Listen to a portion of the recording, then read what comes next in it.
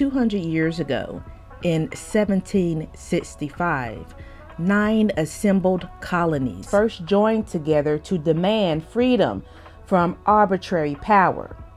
For the first century, we struggled to hold together the first continental union of democracy in the history of man. 100 years ago, in 1865, following a terrible test of blood and fire, the Compact of Union was finally sealed. For a second century, we have labored to establish a unity of purpose and interest among the many groups which made up the American community. That struggle has often brought pain and violence. It is not yet over. State of the Union, message of President Lyndon B. Johnson. January 4th, 1965. The United States is approaching a new crisis in race relations. In the decade that began with the school desegregation decision of the Supreme Court and ended with the passage of the Civil Rights Act of 1964, the demand of Negro Americans for full recognition of their civil rights was finally met. The effort, no matter how savage and brutal for some state and local governments to throw up the exercise of those rights, is doomed. The nation will not put up with it, least of all the Negroes. The present moment will pass. In the meantime, a new period is beginning. In this new period of expectations of the Negro Americans will be beyond civil rights. Being Americans, they will now expect that in the near future, equal opportunities for them as a group will produce roughly equal results as compared with other groups. This is not going to happen, nor will it happen for generations to come unless a new and special effort is made. There are two reasons. First, the racist virus in the American bloodstream still afflicts us.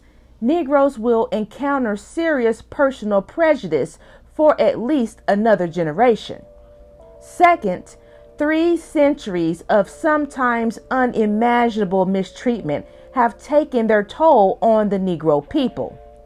The harsh fact is that as a group, at the present time, in terms of ability to win out in the competitions of American life, they are not equal to most of those groups with which they will be competing. Individually, Negro Americans reach the highest peak of achievement, but collectively, in the spectrum of American ethnic and religious and regional groups, where some get plenty and some get none, where some send 80% of their children to college and others will pull them out of school at the eighth grade. Negroes are among the weakest. The most difficult fact for white Americans to understand is that in these terms, the circumstances of the Negro American community in recent years has probably been getting worse, not better. Indexes of dollars of income, standards of living, and years of education deceive. The gap between the Negro and most other groups in American society is widening. The fundamental problem in which this is most clearly the case is that of family structure. The evidence, not final, but powerfully persuasive, is that the Negro family in the urban ghettos is crumbling. A middle class group has managed to save itself, but for vast numbers of the unskilled poorly educated city working class, the fabric of conventional social relationships has all but disintegrated. There are indications that the situation may have been arrested in the past few years, but the general post war trend is unmistakable. So long as this situation persists, the cycle of poverty and disadvantage will continue to repeat itself. The thesis of this paper is that these events in combination confront the nation with a new kind of problem. Measures that have worked in the past or would work for most groups in the present will not work here. A national effort is required that will give a unity of purpose to the many activities of the federal government in this area, directed to a new kind of national goal the establishment of a stable Negro family structure. This will be a new departure for federal policy and a difficult one, but it most certainly offers the only possibility of resolving in our time what is, after all, the nation's oldest and most intransigent, and now it is most dangerous social problem. What Gunnar Myrdal said in An American Dilemma remains true today. America is free to choose whether the Negro shall remain her liability or become her opportunity. Chapter 1 of the Negro Family The Case for National Action by Daniel Patrick Moynihan, former Assistant Secretary of Labor. Chapter 1 The Negro American Revolution. The Negro American Revolution is rightly regarded as the most important domestic event of the post war period in the United States. Nothing like it has occurred since the upheavals of the 1930s which led to the organization of the great industrial trade unions, and which in turn profoundly altered both the economy and the political scene.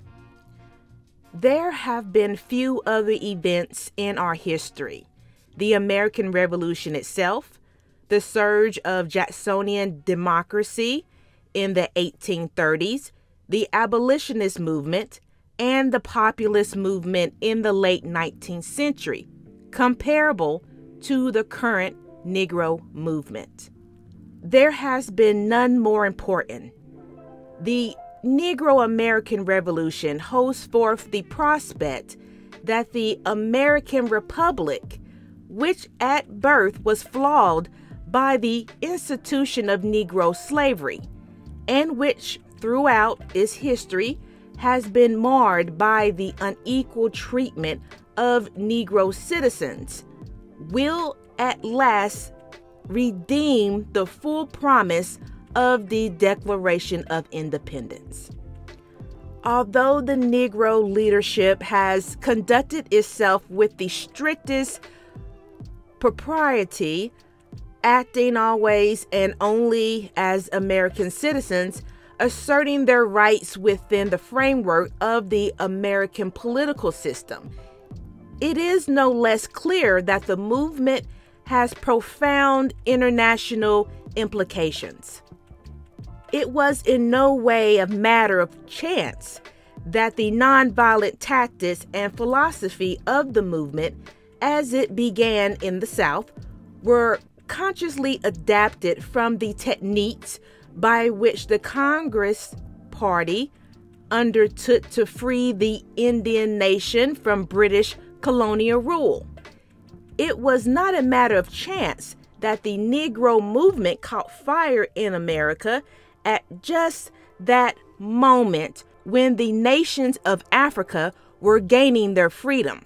Nor is it merely incidental that the world should have fastened its attention on events in the United States at a time when the possibility that the nations of the world will divide along color lines seems suddenly not only possible, but even imminent. Such racist views have made progress within the Negro American community itself, which can hardly be expected to be immune to a virus that is endemic in the white community. The black Muslim doctrines, based on total alienation from the white world exert a powerful influence on the far left at the attraction of Chinese communism can no longer be ignored. It is clear that what happens in America is being taken as a sign of what can or must happen in the world at large. The course of world events will be profoundly affected by the success or failure of the Negro American Revolution in seeking the peaceful assimilation of the race in the United States. The award of the Nobel Peace Prize to Dr. Martin Luther King was as much an expression of the hope for the future as it was recognition for past achievement. It is no less clear that carrying this revolution forward to a successful conclusion is the first priority confronting the Great Society. The end of the beginning. The major events of the onset of the Negro Revolution are now behind us. The political events were three. First, the Negroes themselves organized as a mass movement. Their organizations have been, in some ways, better disciplined and better led than any in our history. They have established an unprecedented alliance with religious groups throughout the nation and have maintained close ties with both political parties and with most segments of the trade union movement. Second, the Kennedy Johnson administration committed the federal government to the cause of Negro equality. This had never happened before.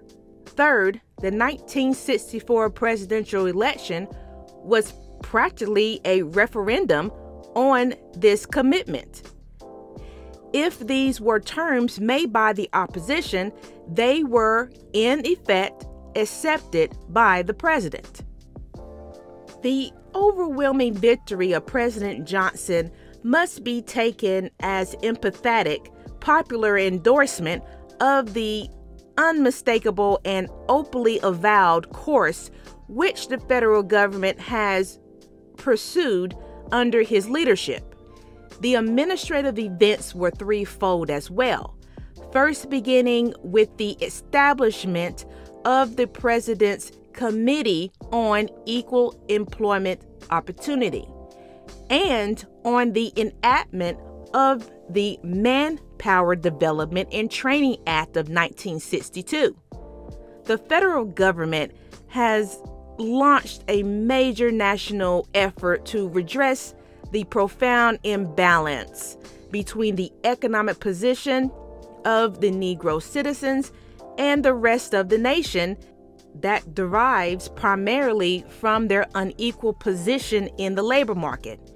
Second, the Economic Opportunity Act of 1964 began a major national effort to abolish poverty, a condition in which almost half of the Negro families are living. Third, the Civil Rights Act of 1964 marked the end of the era of legal and formal discrimination against Negroes and created important new machinery for combating covert discrimination and unequal treatment.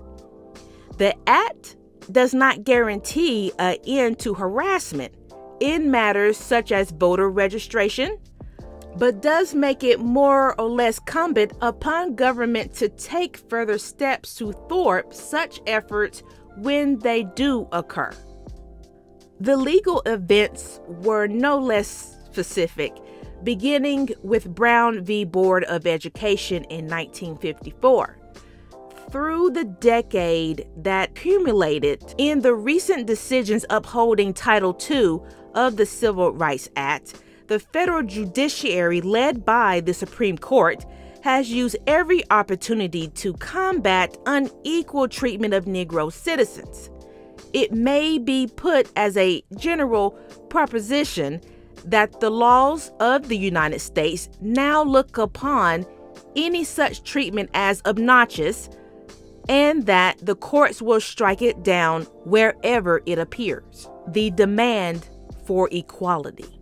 With these events behind us, the nation now faces a different set of challenges, which may prove more difficult to meet, if only because they cannot be cast as concrete propositions of right and wrong. The fundamental problem here is that the Negro Revolution, that the industrial upheaval of the 1930s is a movement for equality as well as for liberty. Liberty and equality are the twin ideas of American democracy but they are not the same thing. Nor, most importantly, are they equally attractive to all groups at any given time. Nor yet are they always compatible one with the other. Many persons who would gladly die for liberty are appalled by equality. Many who devoted to equality are puzzled and even troubled by liberty. Much of the political history of the American nation can be seen as a competition between these two ideas, as, for example, the upending troubles between capital and labor.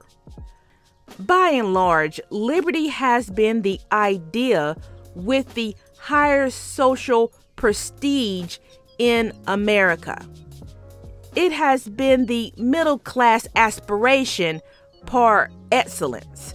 Note the assertions of the conservative right that ours is a republic, not a democracy.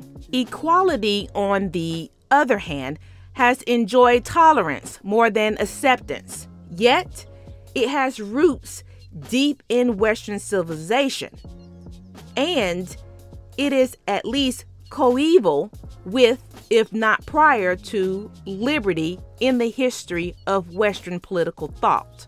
American democracy has not always been successful in maintaining a balance between these two ideas, and notably so where the Negro American is concerned. Lincoln freed the slaves, but they were given liberty, not equality. It was therefore possible in the century that followed that deprived their descendants of much of their liberty as well.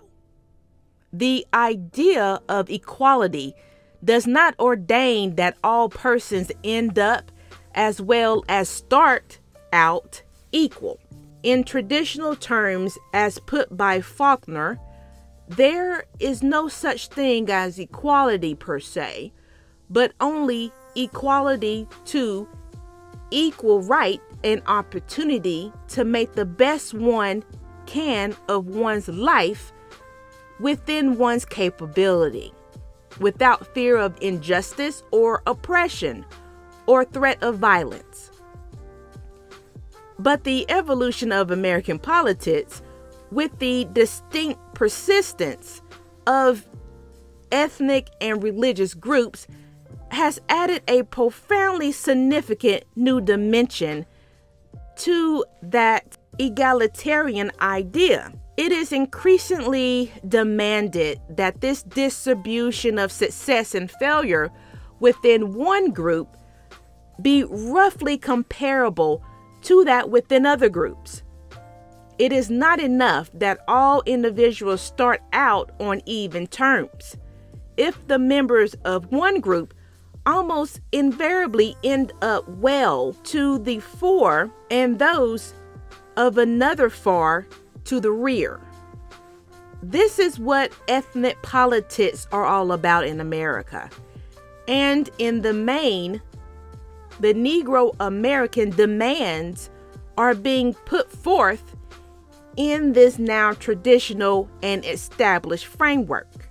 Here, a point of semantics can be grasped The demand for equality of opportunity has been generally perceived by white Americans as a demand for liberty, a demand not to be excluded from the competitions of life. At the polling place, in the scholarship examinations, at the personnel office, on the housing market. Liberty does, of course, demand that everyone be free to try his luck or test his skill in such matters. But these opportunities do not necessarily produce equality. On the contrary, to the extent that winners imply losers, equality of opportunity almost ensures inequality of results. The point of semantics is that equality of opportunity now has a different meaning for Negroes than it does for whites. It is not, or at least no longer, a demand for liberty alone, but also for equality in terms of group results. In Bayard Rustin's terms, it is now concerned not merely with removing the barriers to full opportunity, but with achieving the fact of equality. But equality, Rustin means a distribution of achievements among Negroes roughly comparable to that among whites. As Nathan Glazer has put it, the demand for economic equality is now not the demand for equal opportunities for the equally qualified. It is now the demand for equality of economic results, the demand for equality in education has also become a demand for equality of results of outcomes. Some aspects of the new laws do guarantee results in the sense that upon enactment and enforcement, they bring about an objective that is an end in itself, e.g., the public accommodations title of the Civil Rights Act. Other provisions are at once terminal and immediary. The portions of the Civil Rights Act dealing with voting rights will achieve an objective that is an end in itself. But the exercise of those rights will no doubt lead to further enlargements of the freedom of the Negro American. But by and large, the programs that have been enacted in the first phase of the Negro Revolution, manpower retraining, the Job Corps, Community Action, ETAL, only make opportunities available. They cannot ensure the outcome. The principal challenge of the next phase of the Negro Revolution is to make certain that equality of results will now follow. If we do not, there will be no social peace in the United States for generations. The prospect for equality. The time, therefore, is at hand for an unflinching look at the present potential of Negro Americans to move from where they now are to where they want and ought to be. There is no very satisfactory way at present to measure social health or social pathology within an ethnic or religious or geographical community. Data are few and uncertain, and conclusions drawn from them, including the conclusions that follow, are subject to the grossest error. Nevertheless, the opportunities, no less than the dangers of the present moment, demand that an assessment be made. That being the case, it has to be said that there is an considerable body of evidence that support the conclusion that Negro social structure in particular the Negro family, battered and harassed by discrimination, injustice, and uprooting, is in the deepest trouble. While many young Negroes are moving ahead to unprecedented levels of achievement, many more are falling further and further behind. After an intensive study of the life of Central Harlem, the board of directors of Harlem Youth Opportunities Unlimited, Inc., summed up their findings in one statement massive deterioration of the fabric of society and its institutions. It is the conclusion of this survey of the available national data that what is true of Central Harlem can be said to be true of the Negro American world in general. If this is so, it is the single most important social fact of the United States today. Chapter 2 of The Negro Family The Case for National Action by Daniel Patrick Moynihan, former Assistant Secretary of Labor. Chapter 2 The Negro American Family. At the heart of the deterioration of the fabric of Negro society is the deterioration of the Negro family. It is the fundamental source of the weakness of the Negro community at the present time. There is probably no single fact of Negro American life, so little understood by whites. The Negro situation is commonly perceived by whites in terms of visible manifestations of discrimination and poverty, in part because Negro protest is directed against such obstacles, and in part, no doubt, because these are facts which involve the actions and attitudes of the white community as well. It is more difficult, however, for whites to perceive the effect that three centuries of exploitation have had on the fabric of Negro society itself. Here, the consequences of the historic injustice done to Negro Americans are silent and hidden from view. But here is where the truth injury has occurred. Unless this damage is repaired, all the effort to end discrimination and poverty and injustice will come to little.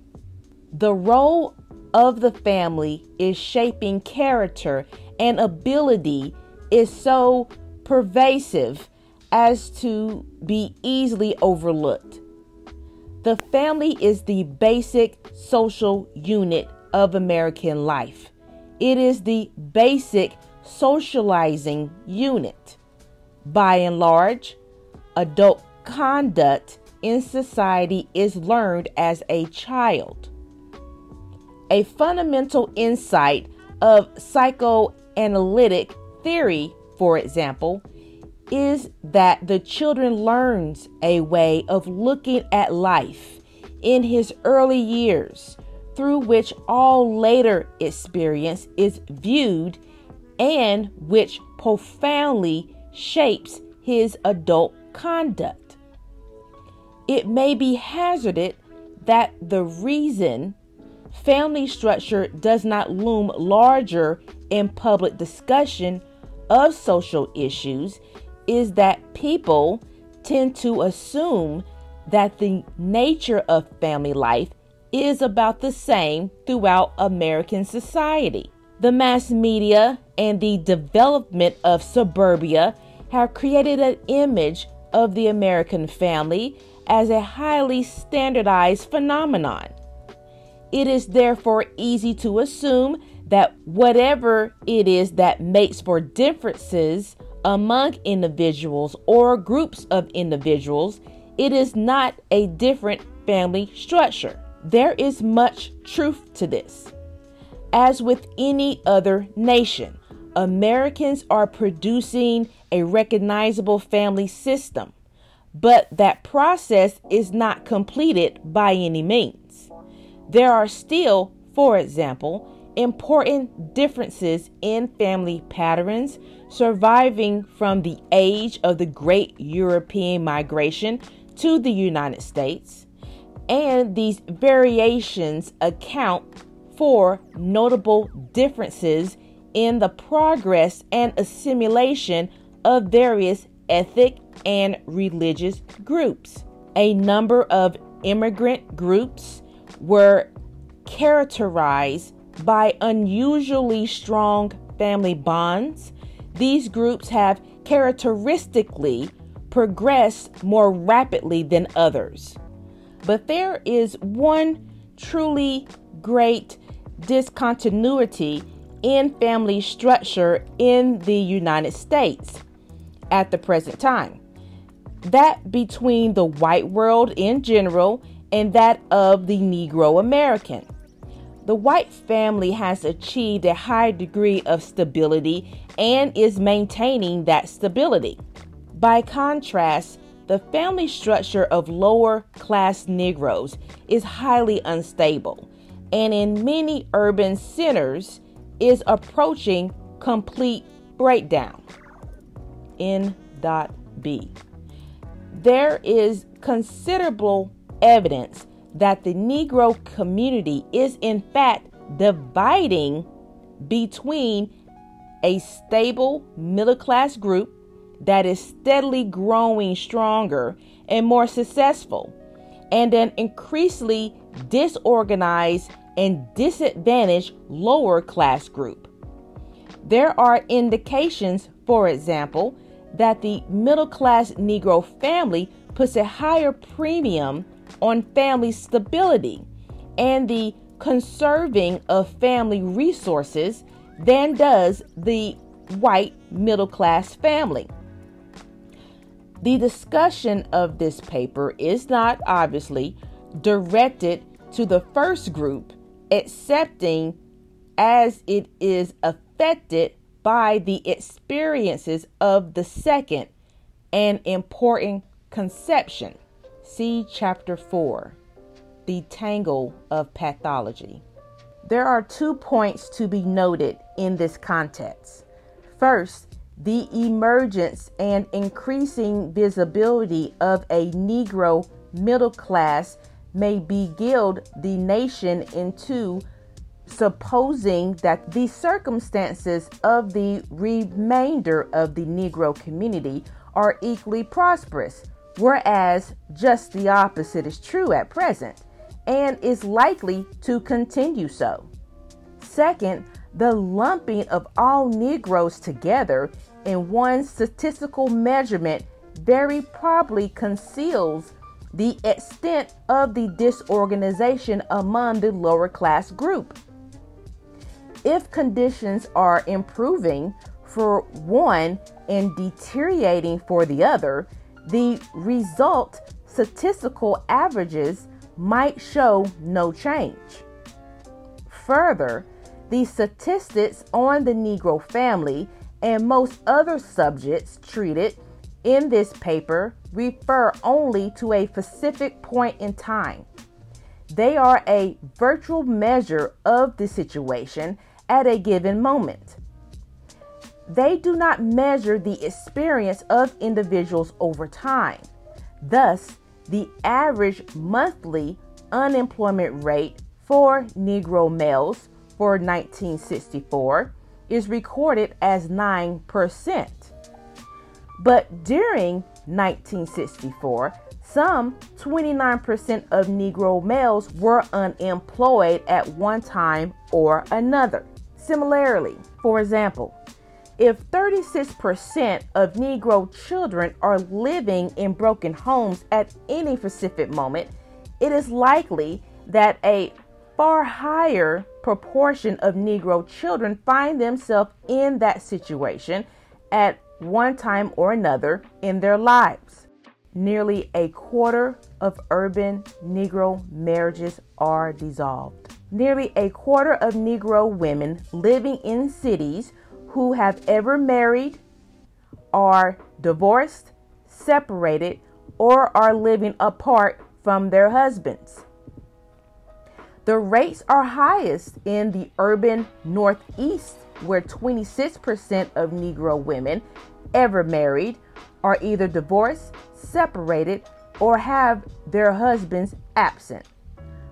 On the urban frontier, the proportion of husbands absent is even higher. In New York City in 1960, it was 30.2%, not including divorces. Among ever married non white women in the nation, the proportion with husbands present declined in every age group over the decade 1950 through 60.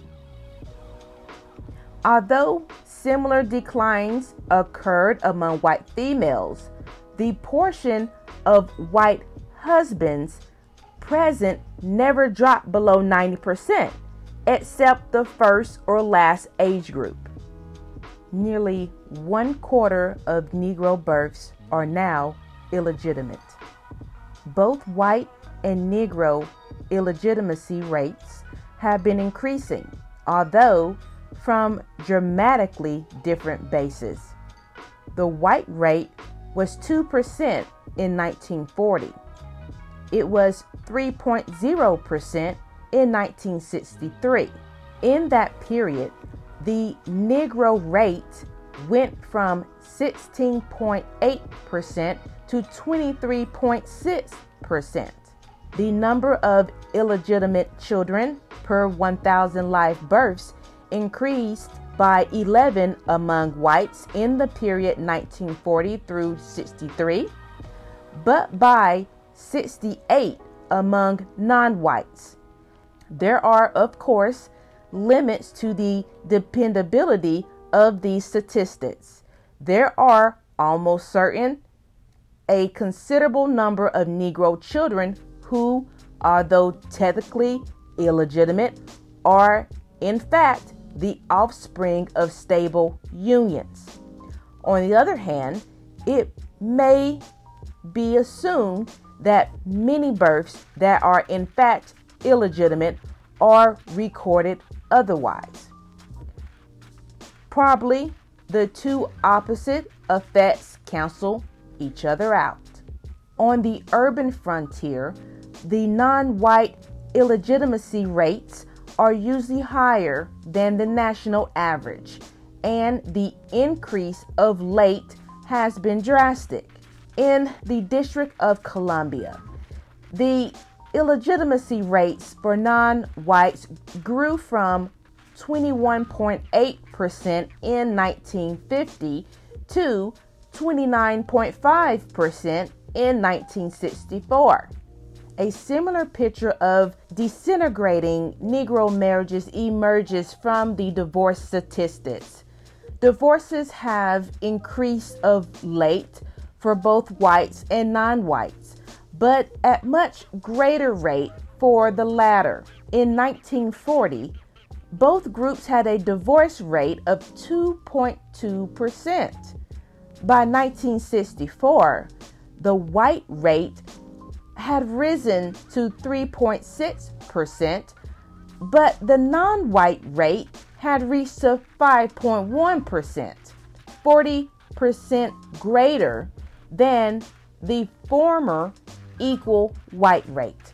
Almost one fourth of Negro families are headed by females.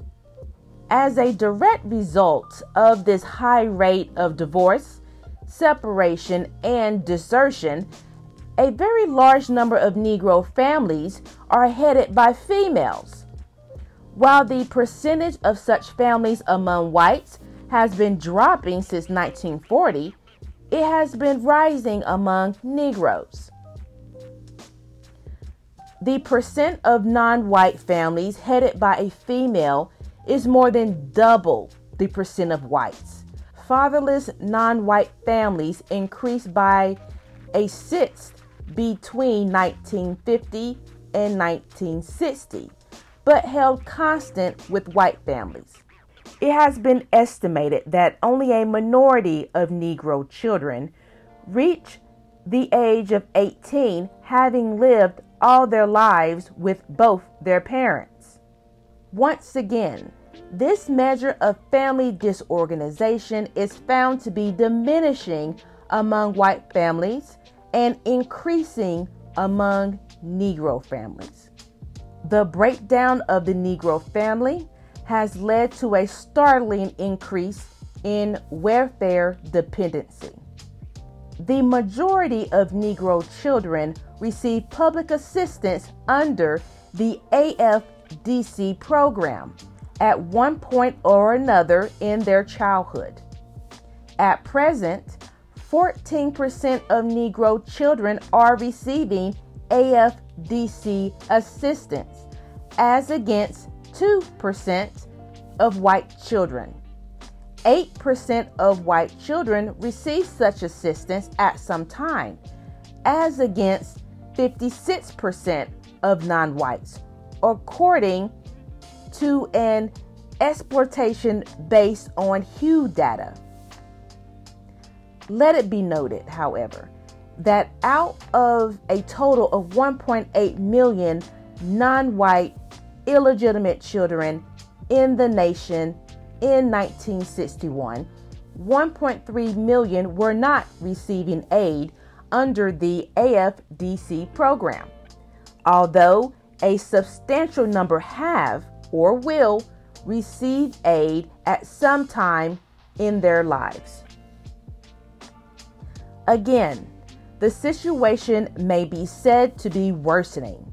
The AFDC program, deriving from the long established Mother's Aid programs, was established in 1935 principally to care for widows and orphans Although the legislation covered all children in homes deprived of parental support because one or both of their parents are absent or incapacitated.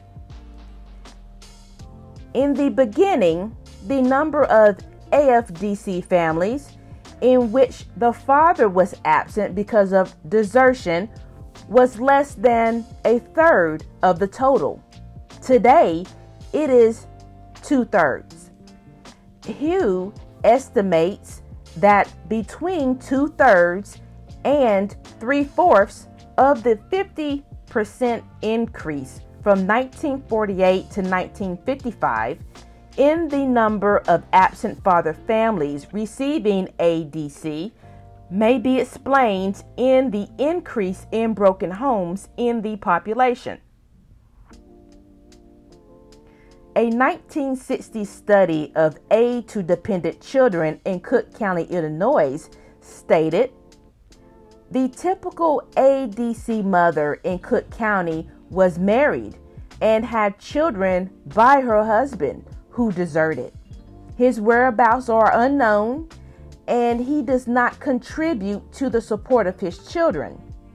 She is not free to remarry and has had an illegitimate child since her husband left.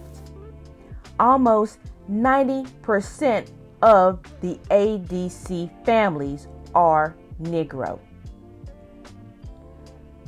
The steady expansion of this welfare program, as of public assistance programs in general, can be taken as a measure of the steady desecration of the Negro family structure over the past generation in the United States.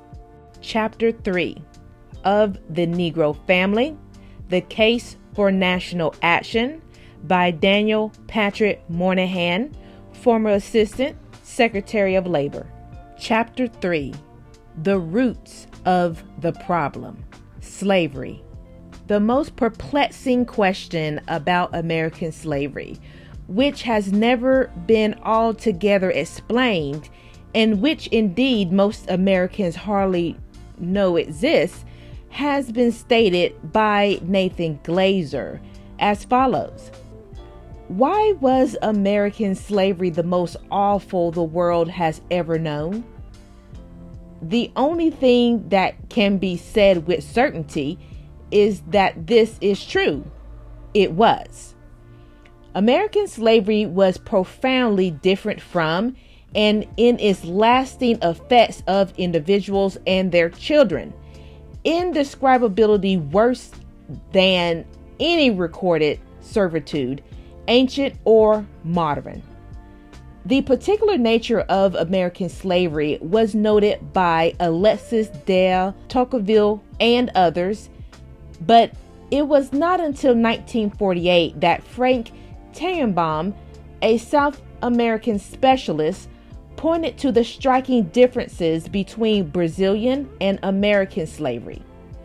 The Frade Catholic Society of Brazil had a legal and religious tradition which accorded the slave a place as a human being in the hierarchy of society, a luckless, miserable place to be, sure, but a place withal. In contrast, there was nothing in the tradition of English law or Protestant theology which could accommodate to the fact of human bondage.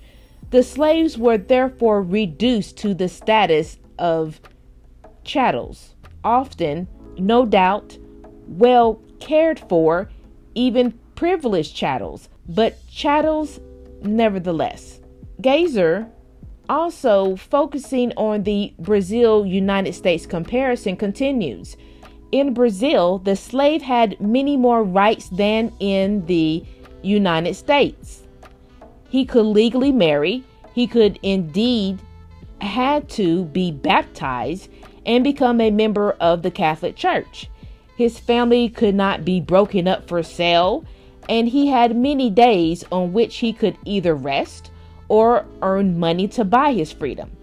The government encouraged manumission, and the freedom of infants could often be purchased for a small sum by the baptismal font. In short, the Brazilian slave knew he was a man and that he differed in degree, not in kind, from his master. In the United States, the slave was totally removed from the protection of organized society. Compare the elaborate provisions for the protection of slaves in the Bible. His existence as a human being was given no recognition by any religious or secular agency. He was totally ignorant of and completely cut off from his past. He was offered absolutely no hope for the future. His children could be sold, his marriage was not recognized, his wife could be violated or sold. There was something comic about calling the woman with whom the master permitted him to live a wife, and he could also be subject without redress to frightful barbarities. There were presumably so many sadists among slave owners, men and women, as there are in other groups. The slave could not, by law, be taught to read or write. He could not practice any religion without the permission of his master, and could never meet with his fellows for religious, or any other purposes except in the presence of a white. And finally, if a master wished to free him, every legal obstacle was used to warp such actions. This was not what slavery meant in the ancient world, in medieval and early modern Europe, or in Brazil and the West Indies. More important, American slavery was also awful in its effects. If we compare the present situation of the American Negro with that of, let us say, Brazilian Negroes who were slaves 20 years longer, we begin to suspect that the differences are the result of very different patterns of slavery. Today, the Brazilian Negroes are Brazilians, though most are poor and do the hard and dirty work of the country. As Negroes do in the United States, they are not cut off from society. They reach into its highest strata, merging there in smaller and smaller numbers. It is true, but with complete acceptance with other Brazilians of all kinds. The relationships between Negroes and whites in Brazil show nothing of the mass irrationality that prevails in this country. Stanley M. Elkins, drawing on the aberrant behavior of the prisoners in Nazi concentration camps, drew an elaborate parallel between two institutions. This thesis has been summarized as follows by Thomas F. Pettigrew. Both were closed systems with little chance of manumission, emphasis on survival, and a single omnipresent authority. The profound personality change created by Nazi interment, as independently reported by a number of psychologists and psychiatrists, who survived was toward childishness and total acceptance of the SS guards as father figures a syndrome strikingly familiar to the Sambo caricature of the Southern slave. 19th century racists readily believed that the Sambo personality was simply an inborn racial type. Yet, no African anthropological data have ever shown any personality type resembling Sambo. And the concentration camps molded the equivalent personality pattern in a wide variety of Caucasian prisoners. Nor was Sambo merely a product of slavery. In the abstract, for the less devastating Latin American system never developed such a type. Extending this line of reasoning, psychologists point out that slavery in all its forms sharply lowered the need for achievement in slaves. Negroes in bondage, stripped of their African heritage, were placed in a completely dependent role. All of their rewards came not from individual incentive and enterprise, but from absolute obedience, a situation that severely depresses the need for achievement among all peoples. Most important of all, slavery vitiated family life. Since many slave owners neither fostered Christian marriage among their slave couples nor hesitated to separate them on the auction block, the slaveholders often developed a fatherless, matrifocal, mother centered pattern. The Reconstruction. With the emancipation of the slaves, the Negro American family began to form in the United States on a widespread scale.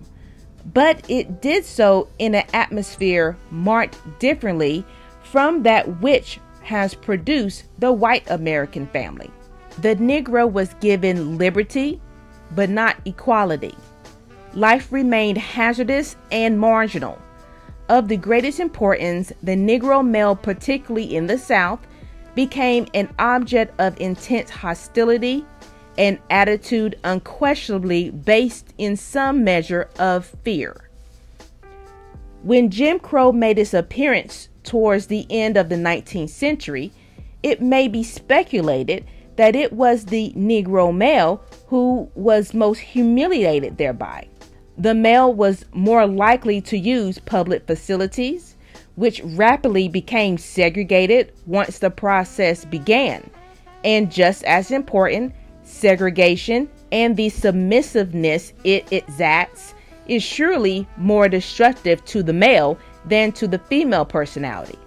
Keeping the Negro in his place can be translated as keeping the Negro male in his place.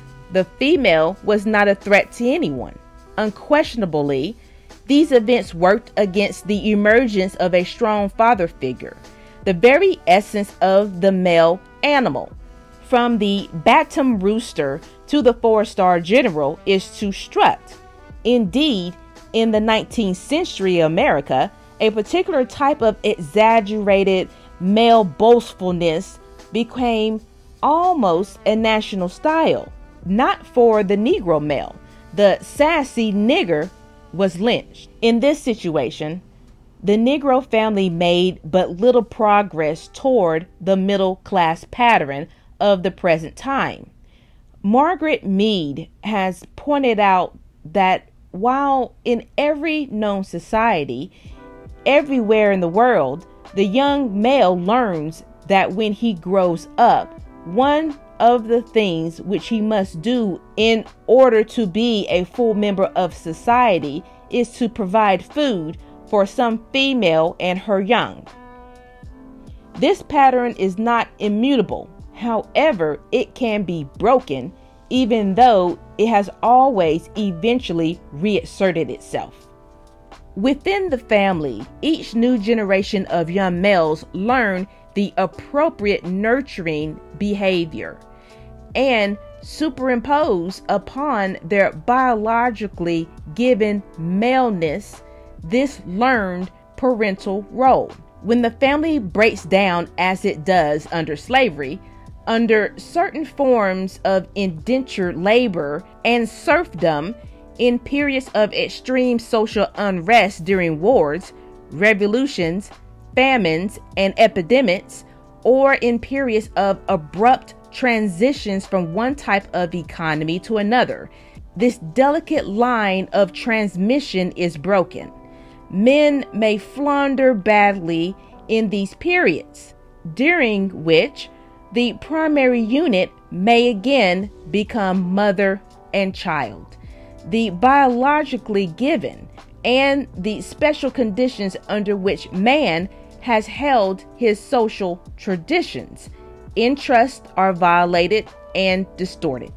E. Franklin Frazier makes clear that at the time of emancipation, Negro women were already accustomed to playing the dominant role in family and marriage relations, and that this role persisted in the decades of rural life that followed. Urbanization Country life and city life are profoundly different. The gradual shift of American society from a rural to an urban basis over the past century and a half has caused abundant strains, many of which are still much in evidence. When this shift occurs suddenly, drastically, in one or two generations, the effect is immensely disruptive of traditional social patterns. It was this abrupt transition that produced the wild Irish slums of the 19th century Northeast. Drunkenness, crime, corruption, discrimination, family disorganization, juvenile delinquency were the routine of that era. In our own time, the same sudden transition was produced in the Negro slum, different from, but hardly better than its predecessors, and fundamentally the result of the same process. The Negroes are now more urbanized than whites. Negro families in the cities are more frequently headed by a woman than those in the country. The difference between the white and Negro proportions of families headed by a woman is greater in the city than in the country. The promise of the city has so far been denied the majority of the Negro migrants, and most particularly the Negro family. In 1939, E. Franklin Frazier described this plight movingly in the part of the Negro family entitled The City of Destruction. The impact of hundreds of thousands of rural Southern Negroes upon northern metropolitan communities presents a bewildering spectacle. striking contrasts in levels of civilization and economic well being among these newcomers to modern civilization seem to baffle any attempt to discover order and direction in their mode of life. In many cases, of course, this dissolution of the simple family organization has begun before the family reaches the northern city.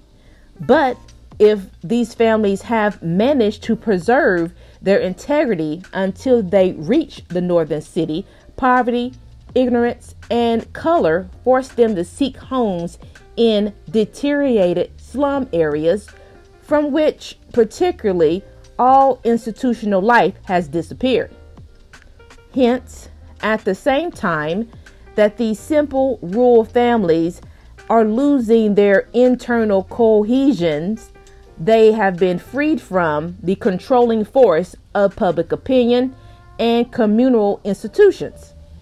Family desertion among Negroes in cities appears then to be one of the inevitable consequences of the impact of urban life on the simple family organization and folk culture which the Negro has evolved in the rural South. This distribution of desertion in relation to the general economic and cultural organization of Negro communities that have grown up in our American cities shows in a striking manner the influence of selective factors in the process of adjustment to their urban environment. Frazier concluded his classist study, The Negro Family, with a prophecy that the tribal of civilization is not yet ended. First, it appears that the family which evolved within the isolated world of the Negro folk will become increasingly disorganized. The modern means of communication will break down the isolation of the world of the black folk, and as long as the bankrupt system of Southern agriculture exists, Negro families will continue to seek a living in the towns and cities of the country.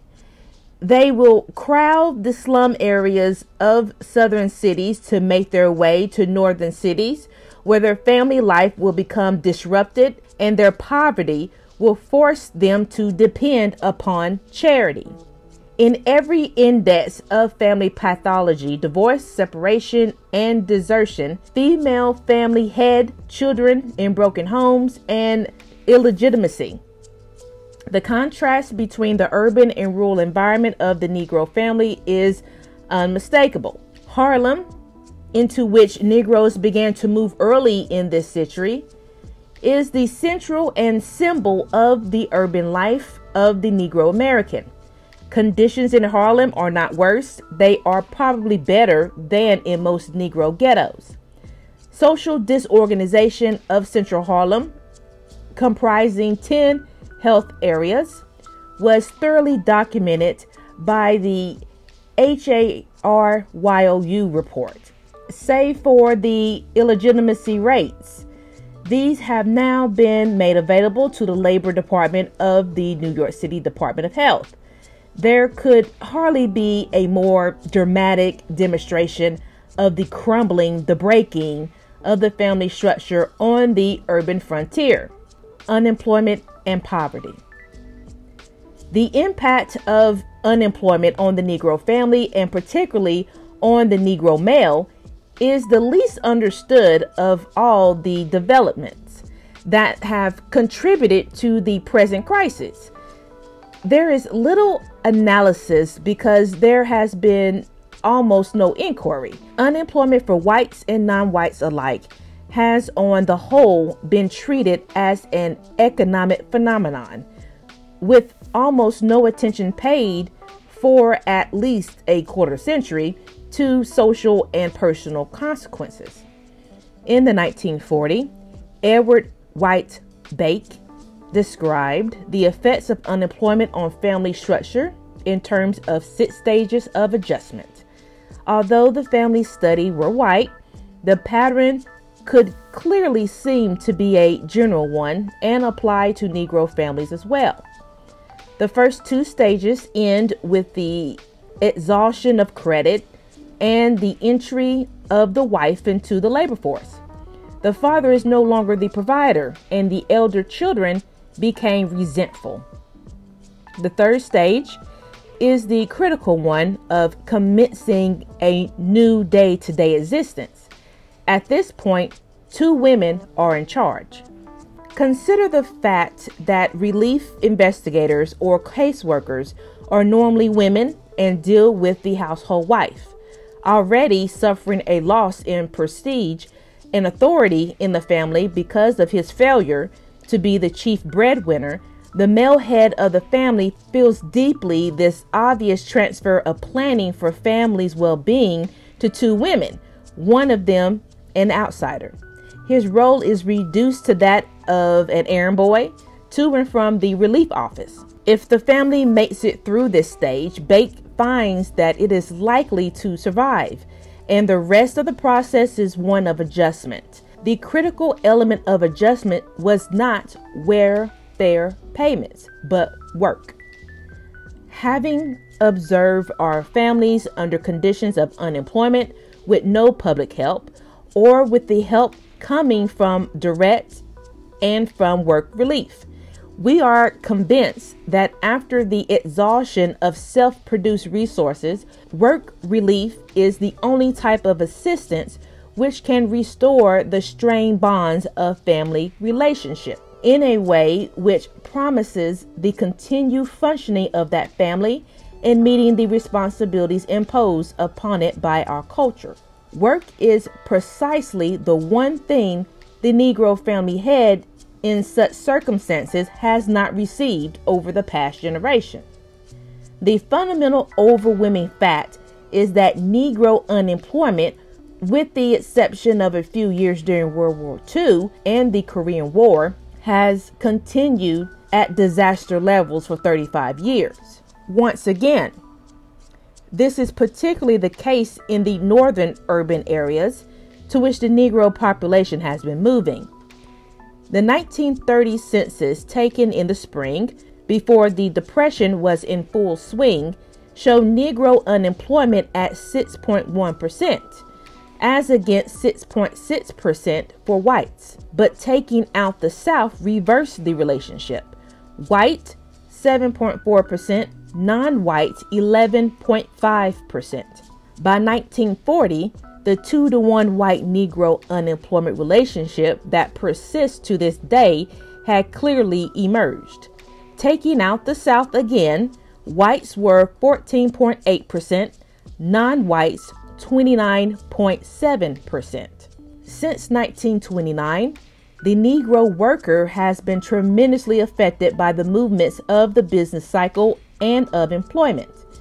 He has been hit worse by declines than whites and proportionately helped more by recoveries. From 1951 to 1963, the level of Negro male unemployment was on a long run rising trend, while at the same time following the short run ups and downs of the business cycle. During the same period, the number of broken families in the Negro world was also on a long run rise, with intermediate ups and downs. A glance at the current chart on page 22 reveals that the series move in the same directions, up and down together, with a long run rising trend, but that the peaks and troughs of one year out of phase. Thus, unemployment peaks one year before broken families and so on. By plotting these series in terms of deviations from trend and moving the unemployment curve one year ahead, we see the clear relation of the two otherwise seemingly unrelated series of events. These cyclical swings in the unemployment have their counterpart in increases and decreases in separations. The effect of recession unemployment on divorces further illustrates the economic roots of the problem. The non white divorce rates dipped slightly in higher unemployment years like 1954 through 55, 1958, and 1961 to 62. Divorce is expensive. Those without money resort to separation or desertion. While divorce is not a desirable goal for a society, it recognizes the importance of marriage and family, and for the children, some family continuity and support is more likely when the institution of the family has been so recognized. The conclusion from these and similar data is difficult to avoid. During times when jobs were reasonably plentiful, although at no time during this period, save perhaps the first two years, did the unemployment rate for the Negro males drop to anything like a reasonable level, the Negro family became stronger and more stable. As jobs became more and more difficult to find, the stability of the family became more and more difficult to maintain. This relationship is clearly seen in terms of illegitimacy rates of census tracts in the District of Columbia compared with male unemployment rates in the same neighborhoods. In 1961, a prosperous year, 29.2% of all Negro men in the labor force were unemployed at some time during the year. Almost half of these men were out of work 15 months or more. The impact of poverty on Negro family structure is no less obvious, although again, it may not be widely acknowledged. There would seem to be an American tradition, agrarian in its origins, but reinforced by attitudes of urban immigrant groups, to the effect that family morality and stability decline as income and social position rise. Over the years, this may have provided some consolation to the poor, but there is little evidence that it is true. On the contrary, higher family incomes are unmistakably associated with greater family stability. Which comes first may be a matter for conjuncture, but the conjunction of the two characteristics is unmistakable. The Negro family is no exception. In the District of Columbia, for example, census tracts with medium incomes over 8,000 had an illegitimacy rate one third that of tracts in the category under 4,000. The wage system. The American wage system is conspicuous in the degree to which it provides high income for individuals, but it is rarely adjusted to ensure that family as well as individual needs are met. Almost without exception, the social welfare and social insurance system of our industrial democracies provide for some adjustment or supplement of a worker's income to provide for the extra expenses for those with families. American arrangements do not save for income tax deductions. The federal minimum wage is $1.25 per hour, provides a basic income for an individual, but an income well below the poverty line for a couple, much less a family with children. The 1965 Economic Report for the President revised the data on the number of persons living in poverty in the United States to take account of the varying needs of families of different sizes rather than using a flat cut at the 3000 income level. The resulting revision illustrates the significance of family size. Using this criteria, the number of poor families is smaller but the number of large families who are poor increases, and the number of children in poverty rises by more than one third from 11 million to 15 million. This means that one fourth of the nation's children live in families that are poor. A third of these children belong to families in which the father was not only present but was employed the year round in overall terms. Median family income is lower for large families than for small families. Families of six or more children have median incomes 24% below families with three.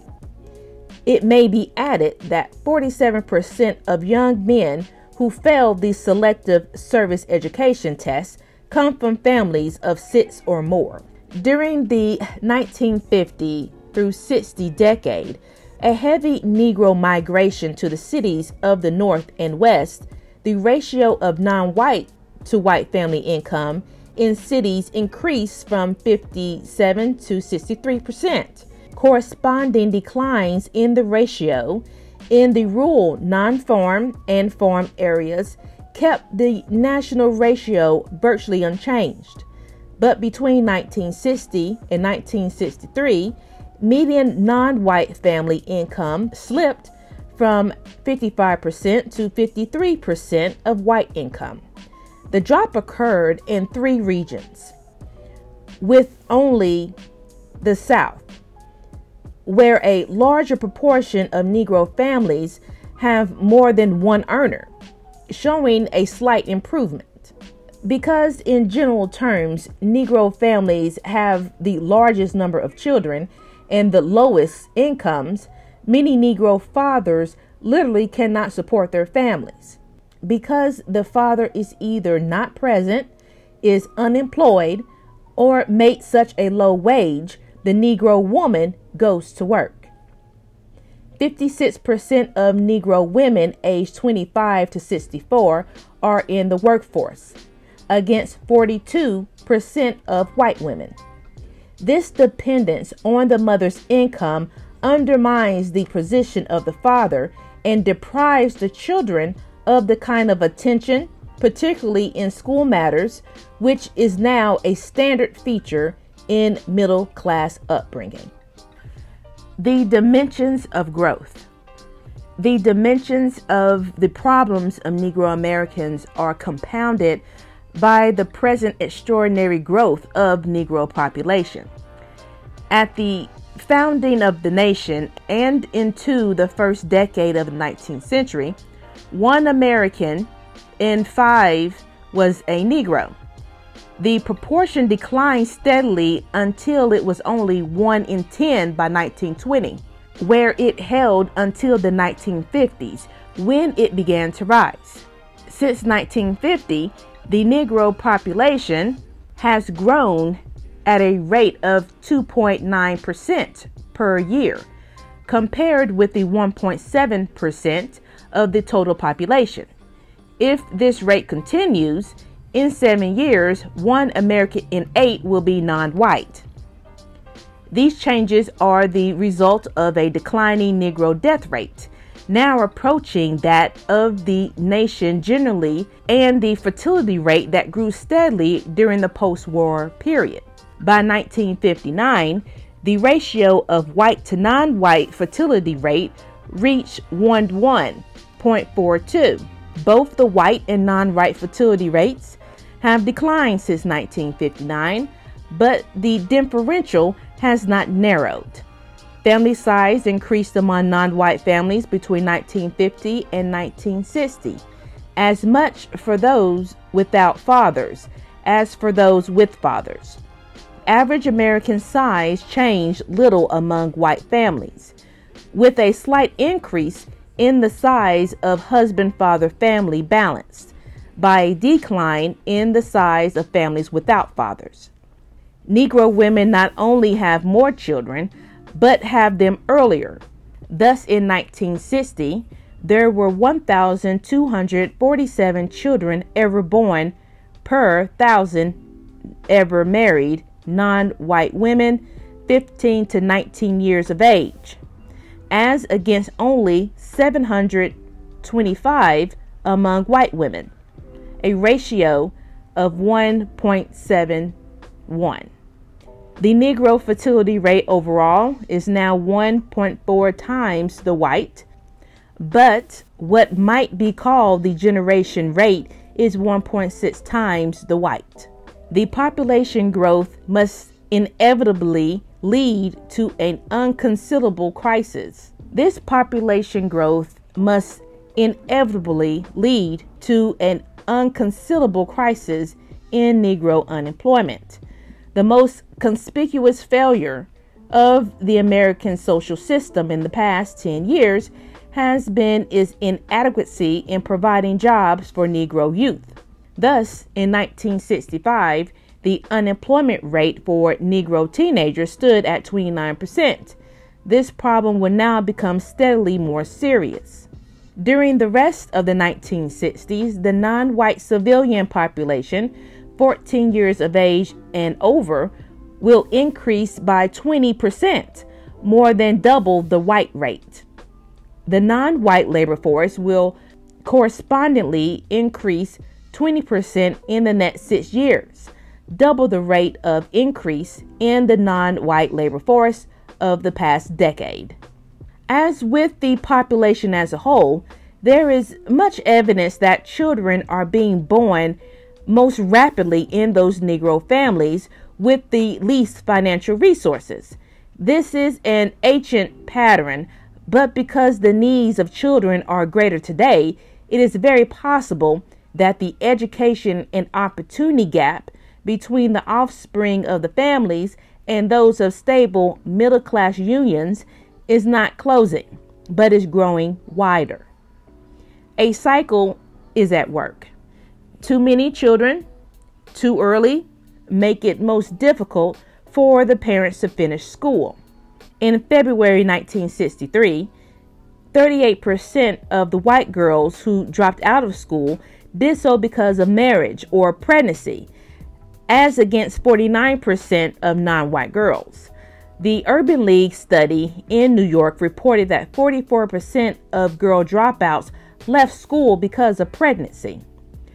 Low education rates, in turn, produce low income levels, which deprive children of many opportunities, and so the cycle repeats itself.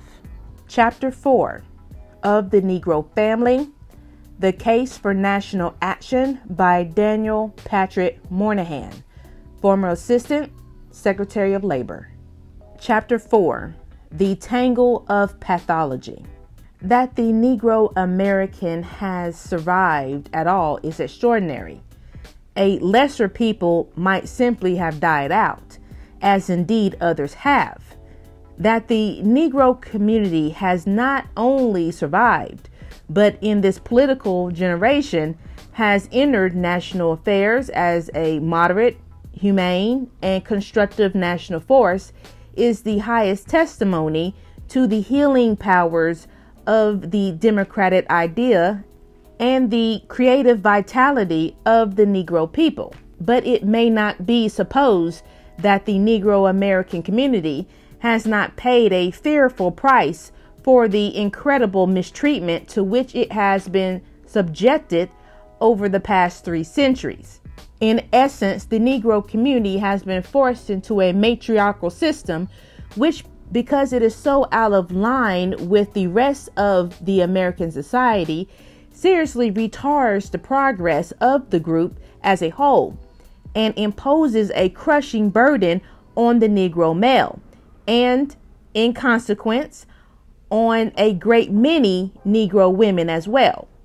There is presumably no special reason why a society in which males are dominant in family relationships is to be preferred to a matriarchal arrangement. However, it is clearly a disadvantage for a minority group to be operating on one principle, while the great majority of the population and the one with the most advantages to begin with is operating on another. This is the present situation of the Negro. Ours in a society which presumes male leadership in private and public affairs. The arrangements of society facilitate such leadership and reward it. A subculture, such as that of the Negro American, in which this is not the pattern. It is placed at a distant disadvantage. Here, an earlier word of caution should be repeated. There is much evidence that a considerable number of Negro families have managed to break out of the tangle of pathology and to establish themselves as stable, effective units, living accordingly to patterns of American society in general. E. Franklin Frazier has suggested that the middle class Negro American family is, if anything, more patriarchal and protective of its children than the general run of such families. Given equal opportunities, the children of these families will perform as well or better than their white peers. They need no help from anyone and ask none. While this phenomenon is not easily measured, one index is that middle class Negroes have even fewer children than middle class whites, indicating a desire to conserve the advances they have made and to ensure that their children do as well or better. Negro women who marry early to uneducated laborers have more children than white women in the same situation. Negro women who marry at the common age for the middle class to educated men doing technical or professional work have only four fifths as many children as their white counterparts. It might be estimated that as many as half of the Negro community falls into the middle class. However, the remaining half is in desperate and deteriorating circumstances. Moreover, because the housing segregation, it is immensely difficult for the stable half to escape from the cultural influences of the unstable one. The children of middle class Negroes often as not must grow up in or next to the slums an experience almost unknown to white middle class children. They are therefore constantly exposed to the pathology of the disturbed group and constantly in danger of being drawn into it. It is for this reason that the proposition put forth in this study may be thought of as having a more or less general application. In a word, most Negro youth are in danger of being caught up in the tangle of pathology that affects their world, and probably a majority are so entrapped. Many of those who escape do so for one generation only, as things are now. Their children may have to run the gauntlet all over again. That is not the least vicious aspect of the world that white America has made for the Negro. Obviously, not every instance of social pathology afflicting the Negro community can be traced to the weakness of the family structure. If, for example, organized crime in the Negro community were not largely controlled by whites, there would be more capital accumulation among Negroes, and therefore probably more Negro business enterprises. If it were not for the hostility and fear many whites exhibit towards Negroes, they in turn would be less afflicted by hostility and fear, and so on. There is no one Negro community. There is no one Negro problem. There is no one solution. Nonetheless, at the center of the tangle of pathology is the weakness of the family structure once or twice removed, it will be found to be the principal source of most of aberrant, inaccurate, or antisocial behavior that did not establish, but now serves to perpetuate the cycle of poverty and deprivation. It was by destroying the Negro family under slavery that white America broke the will of the Negro people. Although that will has reasserted itself in our time, it is a resurgence doomed to frustration unless the viability of the Negro family is restored. Matriarchy. A fundamental fact of Negro American family life is the often reversed roles of husband and wife. Robert O. Blood Jr.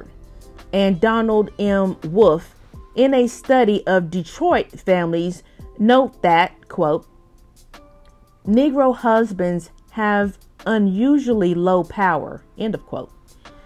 And while this is characteristic of all low income families, the pattern pervades the Negro social structure.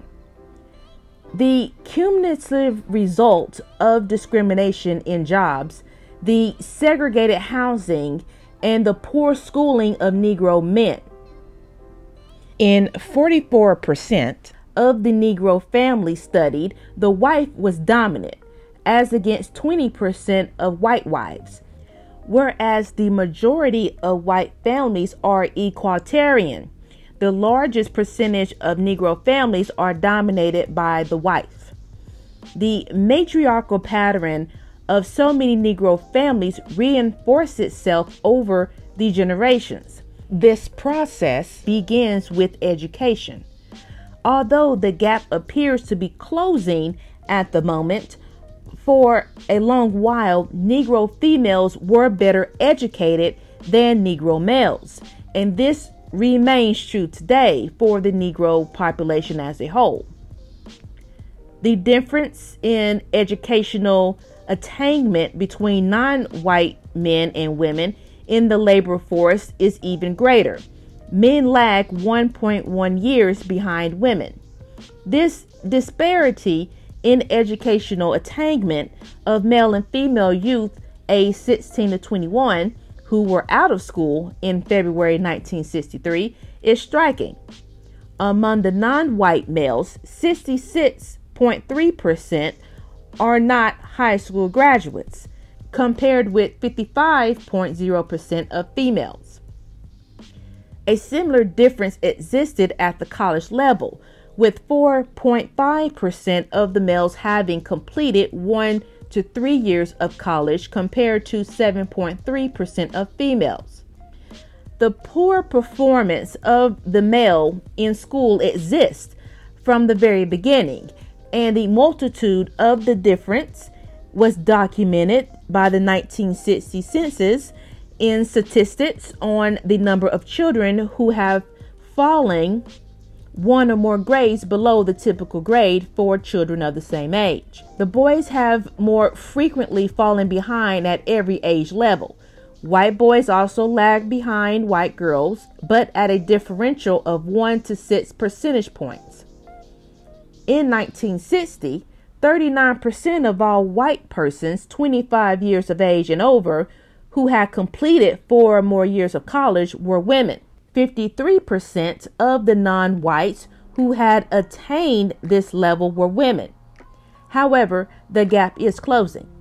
By October 1963, there were slightly more Negro men in college than women. Among whites, there were almost twice as many men as women enrolled.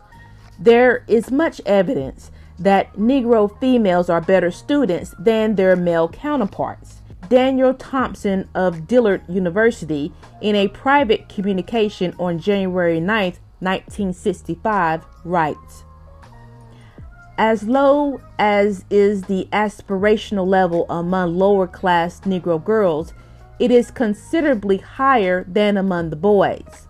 For example, I have examined the honor rolls in Negro high schools for about 10 years.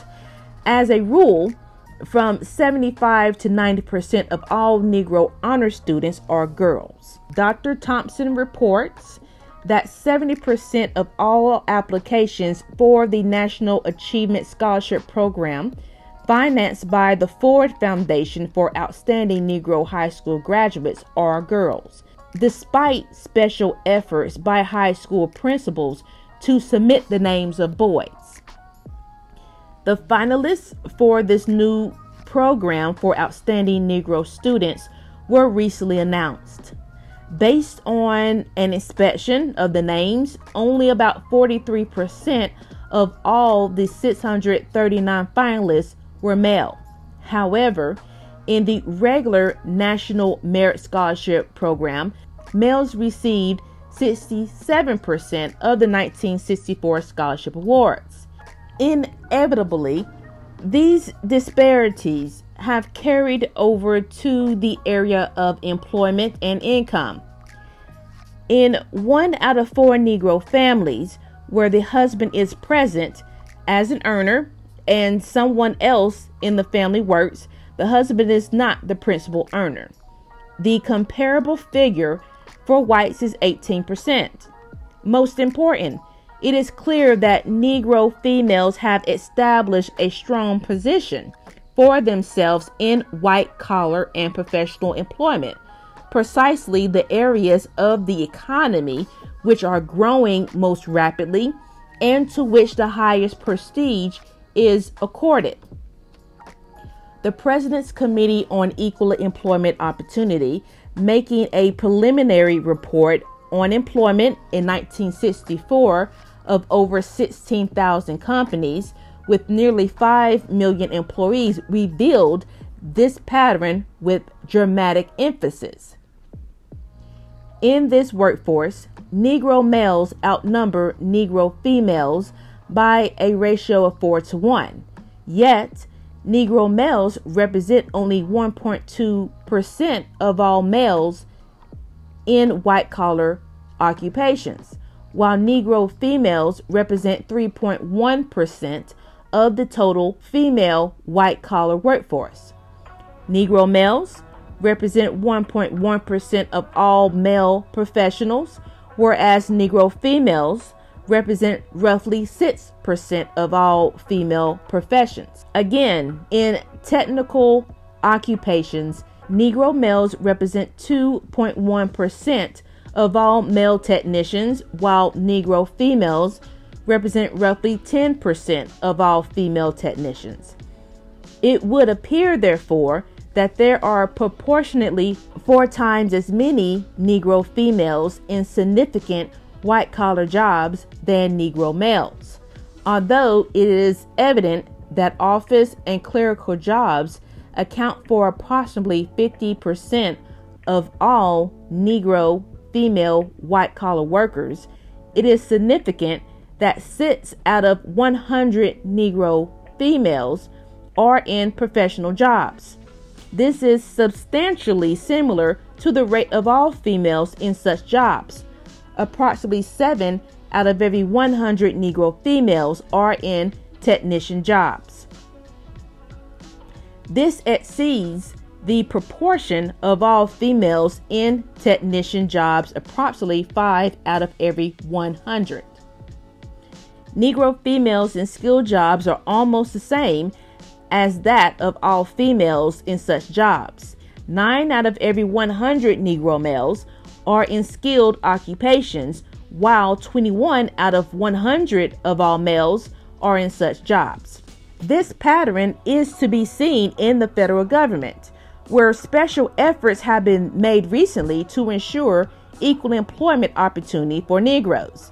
These efforts have been notably successful in departments such as labor, where some 19% of employees are now Negro, a not disproportionate percentage given this composition of the workforce in the areas where the main department offices are located. However, it may well be that these efforts have redounded mostly to the benefit of Negro women. It may even have accentuated the comparative disadvantage of the Negro men. 70% of the Negro employees of the Department of Labor are women, as contrast with only 42% of the white employees. Among non professional Labor Department employees, where the most employment opportunities exist for all groups, Negro women outnumber Negro men 4 to 1 and average almost one grade higher in classification. The testimony to the effects of these patterns in Negro family structure is widespread and hardly to be doubted. Whitney Young. Historically, it is the matriarchal Negro society. Mothers made sure that if one of their children had a chance for higher education, the daughter was the one to pursue it. The effect on family functioning and role performance of this historical experience, economic deprivation, is what you might predict. Both as husband and as father, the Negro male is made to feel inadequate, not because he is unlovable or unaffectionate, lacks intelligence, or even a gray flannel suit, but in a society that measures a man by the size of his paycheck. He doesn't stand very tall in a comparison with his white counterparts. To this situation, he may react with withdrawal, bitterness toward society, aggression, both within the family and racial group, self hatred, or crime. Or he may escape through a number of avenues that help him lose himself in fantasy or to compensate for his low status through a variety of exploits. Thomas Pettigrew. The Negro wife in this situation can easily become disgusted with her financially dependent husband, and her rejection of him further alienates the male from family life. Embittered by their experiences with men, many Negro mothers often act to perpetuate the mother centered pattern by taking a greater interest in their daughters than their sons. Deton Brooks. In a matriarchal structure, the women are transmitting the culture. Dorothy Height. If the Negro woman has a major underlying concern, it is the status of the Negro man and his position in the community and his need for feeling himself an important person, free and able to make his contribution in the whole society in order that he may strengthen his home. Duncan M. McIntyre. The Negro illegitimacy rate always has been high, about eight times the white rate in 1940 and somewhat higher today, even though the white illegitimacy rate also is climbing.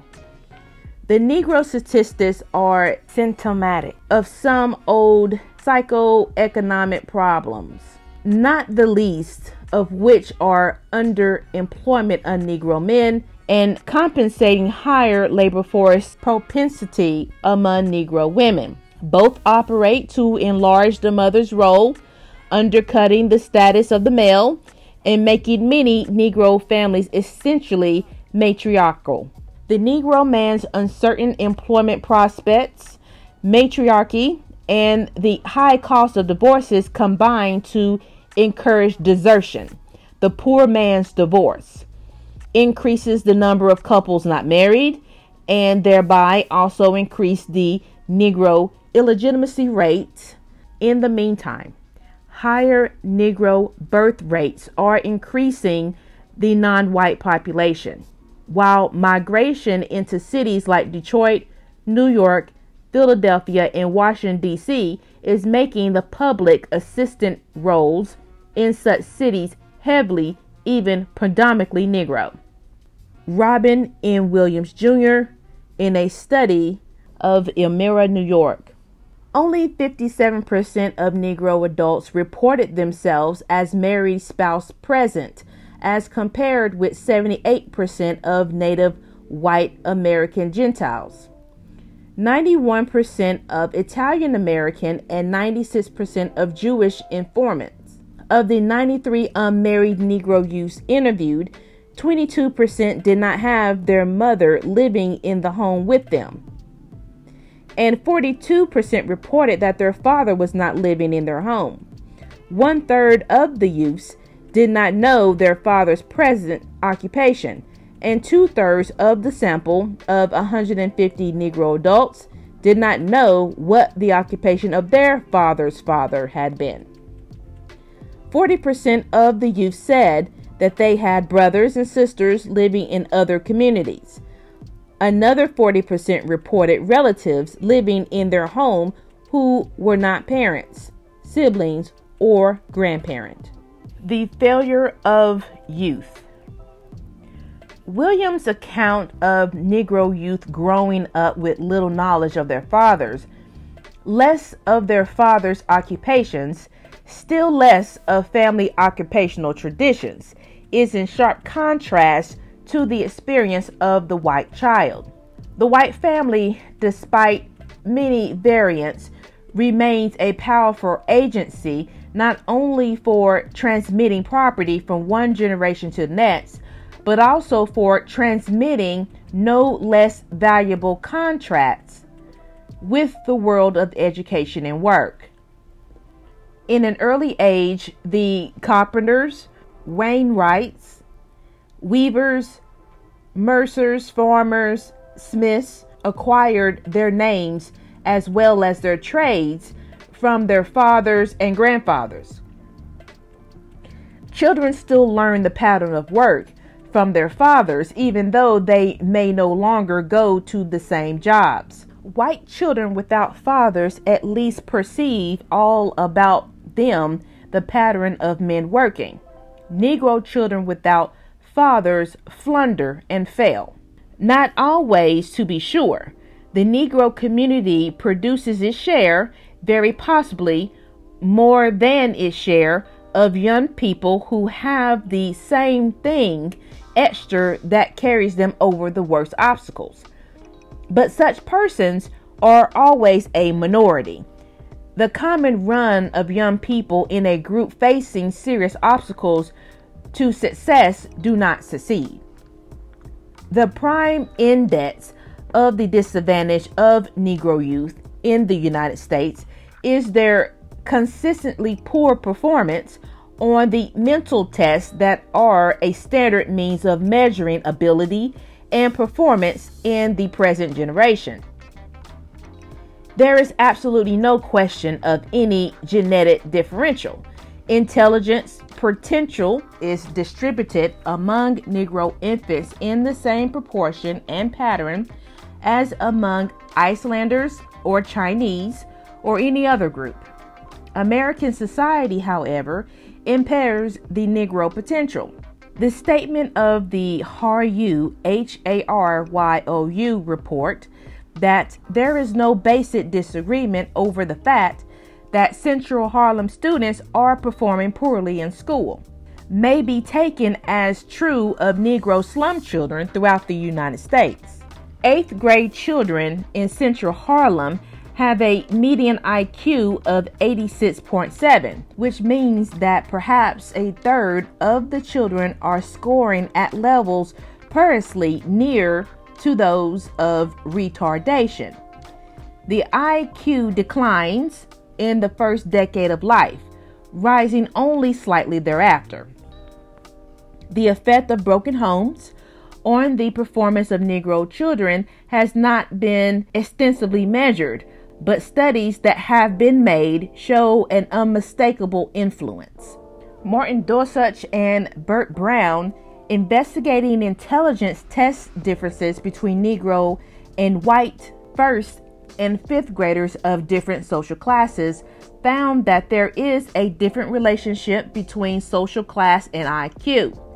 As the one rises, so does the other, but more for whites than Negroes. This is surely a result of housing segregation, referred to earlier which makes it difficult for middle class Negro families to escape the slums. The authors explain that it is much more difficult for the Negro to obtain identical middle or upper class status with whites, and the social class gradation are less marked for Negroes because Negro life is a caste society, is considerably more homogeneous than is life for the majority group. Therefore, the authors look for background variables other than social class, which might explain the difference. One of the most striking differences between the Negro and white groups is the consistently higher frequency of broken homes and resulting family disorganization in the Negro group. Further, they found that children from homes where fathers are present have significantly higher scores than children in homes without fathers. The influence of the father's presence was then tested within the social classes and school grades of Negroes alone. they found that a consistent trend within both grades at the lower SES social class level appears, and in no other case is there a reversal of this trend. Males, females, and the combined group, the IQs of children with fathers in the home are always higher than those who have no father in the home. The authors say that broken homes may also account for some of the differences between Negro and white intelligence scores.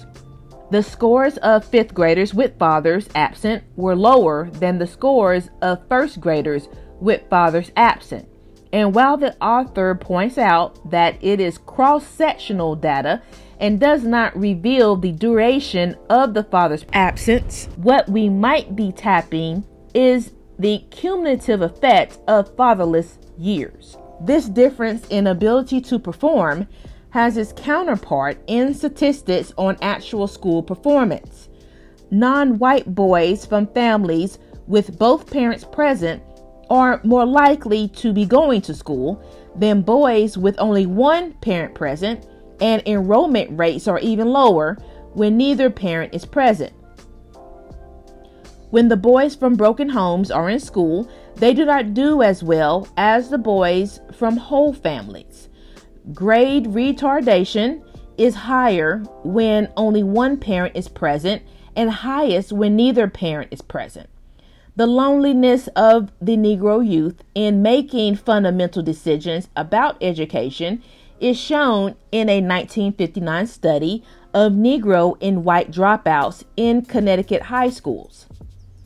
Only 29% of the Negro male dropouts discussed their decision to drop out of school with their fathers, compared with 65% of the white males.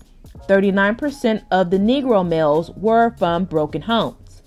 In fact, 26% of the Negro males did not discuss this major decision in their lives with anyone at all, compared with only 8% of white males. The study of Negro apprenticeship by the New York State Commission Against Discrimination in 1960 concluded Negro youth are seldom exposed to influences which can lead to apprenticeship. Negroes are not apt to their relatives, friends, or neighbors in skilled occupations, nor are they likely to be in secondary schools where they receive encouragement and direction from alternate role models. Within the minority community, skilled Negro models, often whom the Negro male might pattern himself, are rare, while substitute sources which could provide the direction, encouragement, resources, and information needed to achieve skilled craft standing are non existent. Delinquency and crime. The combined impact of poverty, failure, and isolation among Negro youth has had the predictable outcome in a disastrous delinquency and crime rate. In a typical pattern of discrimination, Negro children in all public and private orphanage are a smaller proportion of all children than their proportion of the population, although their needs are clearly greater. On the other hand, Negroes represent a third of all youth in all training schools for juvenile delinquents. It is probable that at present a majority of the crimes against the person, such as rape, murder, and aggravated assault, are committed by Negroes. This is, of course, no absolute evidence. Inference can only be made from arrest and prison population statistics. The data that follow unquestionably are biased against Negroes, who are arraigned much more casually than are whites.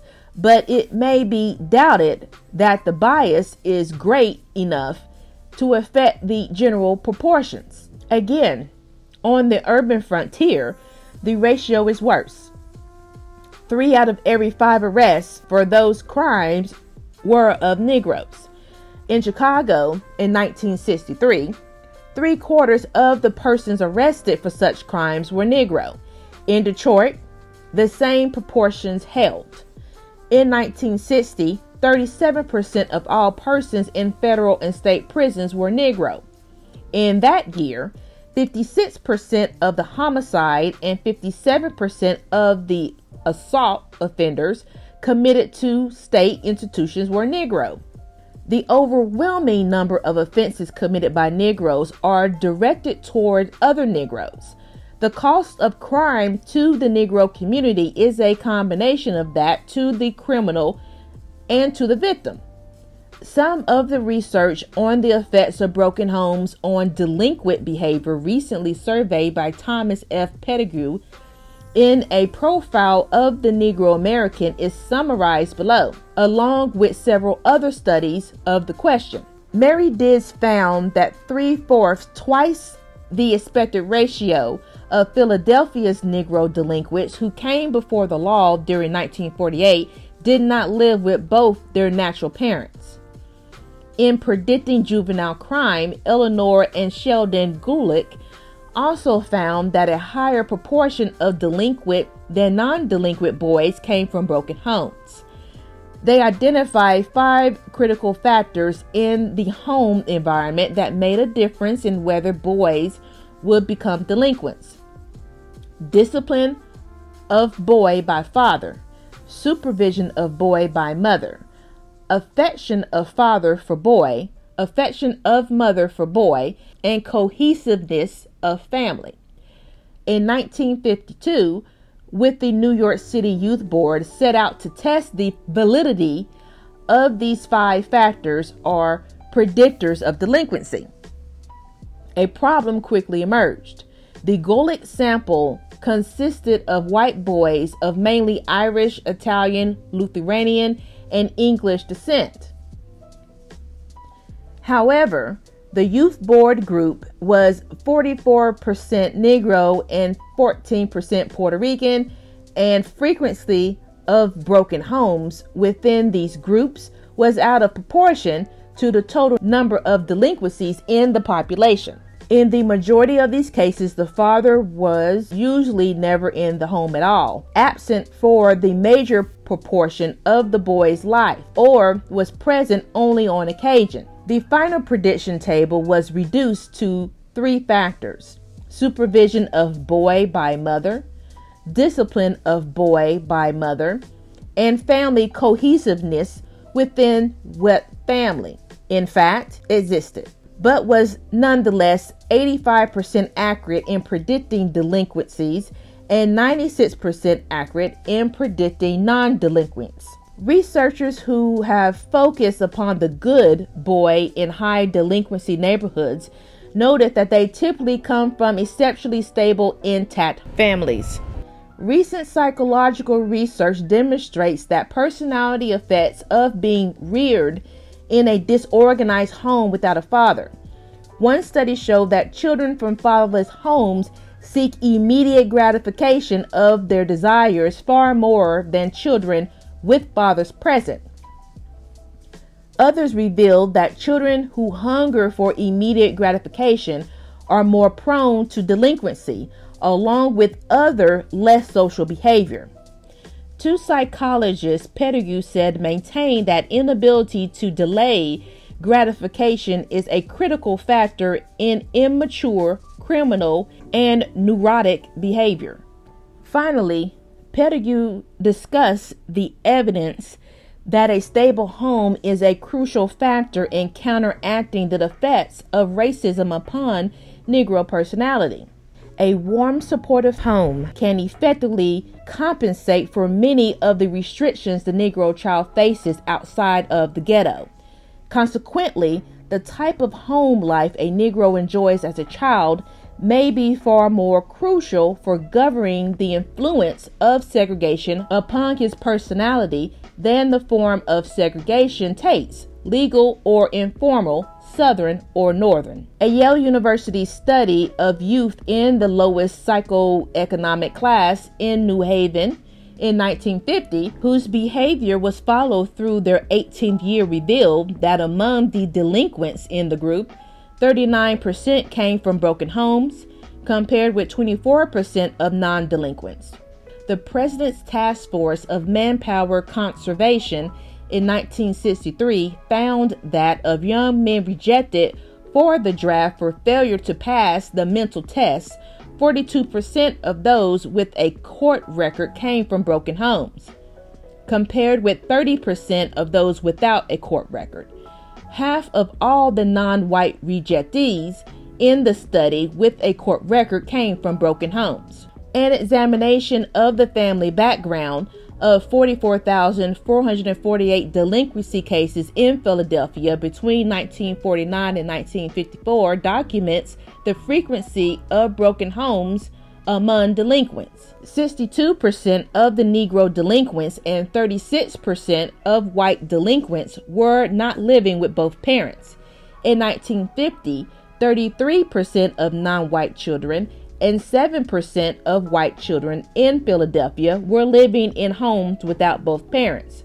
Repeaters were even more likely to be from broken homes than first offenders.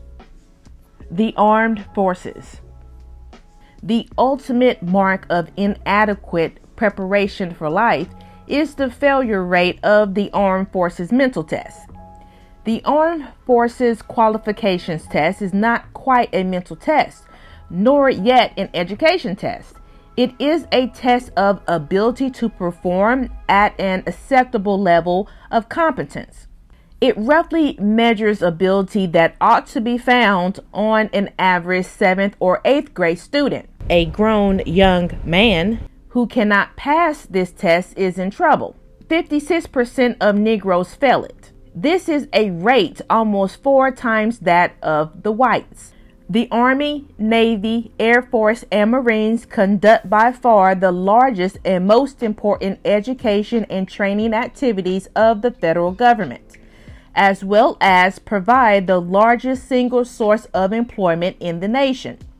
Military service is disruptive in some respects.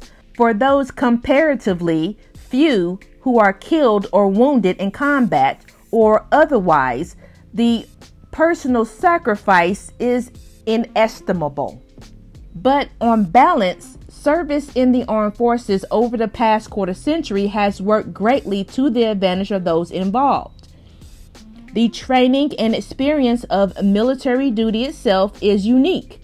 The advantages that have generally followed in the form of the GI Bill, mortgage guarantees, federal life insurance, civil service preference. Veteran hospitals and veterans' pensions are singular, to say the least. Although service in the armed forces is at least nominally a duty of all male citizens coming of age, it is clear that the present system does not enable Negroes to serve in anything like their proportionate numbers. This is not a question of discrimination. Induction into the armed forces is based on a variety of objective tests and standards, but these tests, nonetheless, have the effect of keeping a number of Negroes disproportionately small. In 1963, the United States Commission on Civil Rights reported that a decade ago, Negroes constituted 8% of the armed forces. Today, they continue to constitute 8% of the armed forces. In 1964, Negroes constituted 11.8% of the population and probably remain at 8% of the armed forces. The significance of Negro underrepresentation in the armed forces is greater than might at first be supposed. If Negroes were represented in the same proportions in the military as they are in the population, they would number 300,000 plus. This would be over 100,000 more than at present using 1964 strength figures if the more than 100,000 unemployed Negro men were to have gone into the military, the Negro male unemployment rate would have been 7.0% in 1964 instead of 9.1%. In 1963, the Civil Rights Commission commented on the occupational aspects of military service of Negroes. Negro enlisted men enjoy relatively better opportunities in the armed forces than in the civilian economy in every clerical, technical, and skilled field for which the data permit comparison. There is, however, an even more important issue involved in military service for Negroes. Service in the United States Armed Forces is the only experience open to the Negro American in which he is truly treated as an equal. Not as a Negro equal to a white, but as one man equal to another man in a world where the category Negro and white do not exist. If this is a statement of the idea rather than reality, it is an idea that is close to realization. In food, dress, housing, pay, work, the Negro in the armed forces is equal and is treated that way. There is another special quality about military service for Negro men. It is an utterly masculine world. Given the strains of the disorganized and matrifocal family life in which so many Negro youth come of age, the armed forces are a dramatic and desperately needed change. A world away from women, a world ran by strong men of unquestioned authority, where discipline, if harsh, is nonetheless orderly and predictable, and where rewards, if limited, are granted on the basis of performance. The theme of a current Army recruiting message states it as clearly as can be. In the U.S. Army, you get to know what it means to feel like a man. At the recent Civil Rights Commission hearings in Mississippi, a witness testified that his Army service was, in fact, the only time I ever felt like a man. Yet, a majority Negro youth and probably three quarters of Mississippi Negroes failed these selective service education tests and are rejected. Negro participation in the armed forces would be less than it is were it not for the proportionally larger share of voluntary enlistments and re-enlistments. Thus, 16.3% of Army sergeants are Negro. Alienation. The term alienation may be now have been used in too many ways to retain a clear meaning, but it will serve to sum up the equally numerous ways in which large numbers of Negro youth appear to be withdrawing from American society. One startling way in which this occurs is that the men are just not there when the census enumerator comes around. According to Bureau of Census population estimates for 1963, there are only 87 non white males for every 100 females in the 30 to 34 year age group. The ratio does not exceed 90 to 100 throughout the 24 to 44 year old age bracket. In the urban Northeast, there are only 76 males per 100 females, 20 to 24 years of age, and males as a percentage of females are below 90% throughout all ages after 14. There are not really fewer men than women in the 20 to 40 age bracket. What obviously is involved is an error in counting. The surveyors simply did not find the Negro man. Donald J. Bogue and his associates, who have studied the federal count of the Negro man, placed the error as high as 19.8% at age 28. A typical error of around 15% is estimated from age 19 through 43. Preliminary research of the Bureau of the Census on the 1960 numeration has resulted in similar conclusions, although not necessarily the same estimates of the extent of the error. The Negro male can be found at age 17 and 18. On the basis of birth records and mortality records, the conclusion must be that he was there at age 19 as well. When the enumerators did find him, his answer to the standard question asked in the monthly unemployment survey often result in counting him as not in the labor force. In other words, Negro male unemployment may in truth be somewhat greater than reported. The labor force participation rates of non white men have been falling since the beginning of the century and for the past decade have been lower than the rates for white men. In 1964, the participation rates were 78.0% for white men and 75.8% for non white men. Almost one percentage point of this difference was due to a higher proportion of non white men unable to work because of long term physical or mental illness. It seems reasonable to assume that the rest of the difference is due to discouragement about finding a job.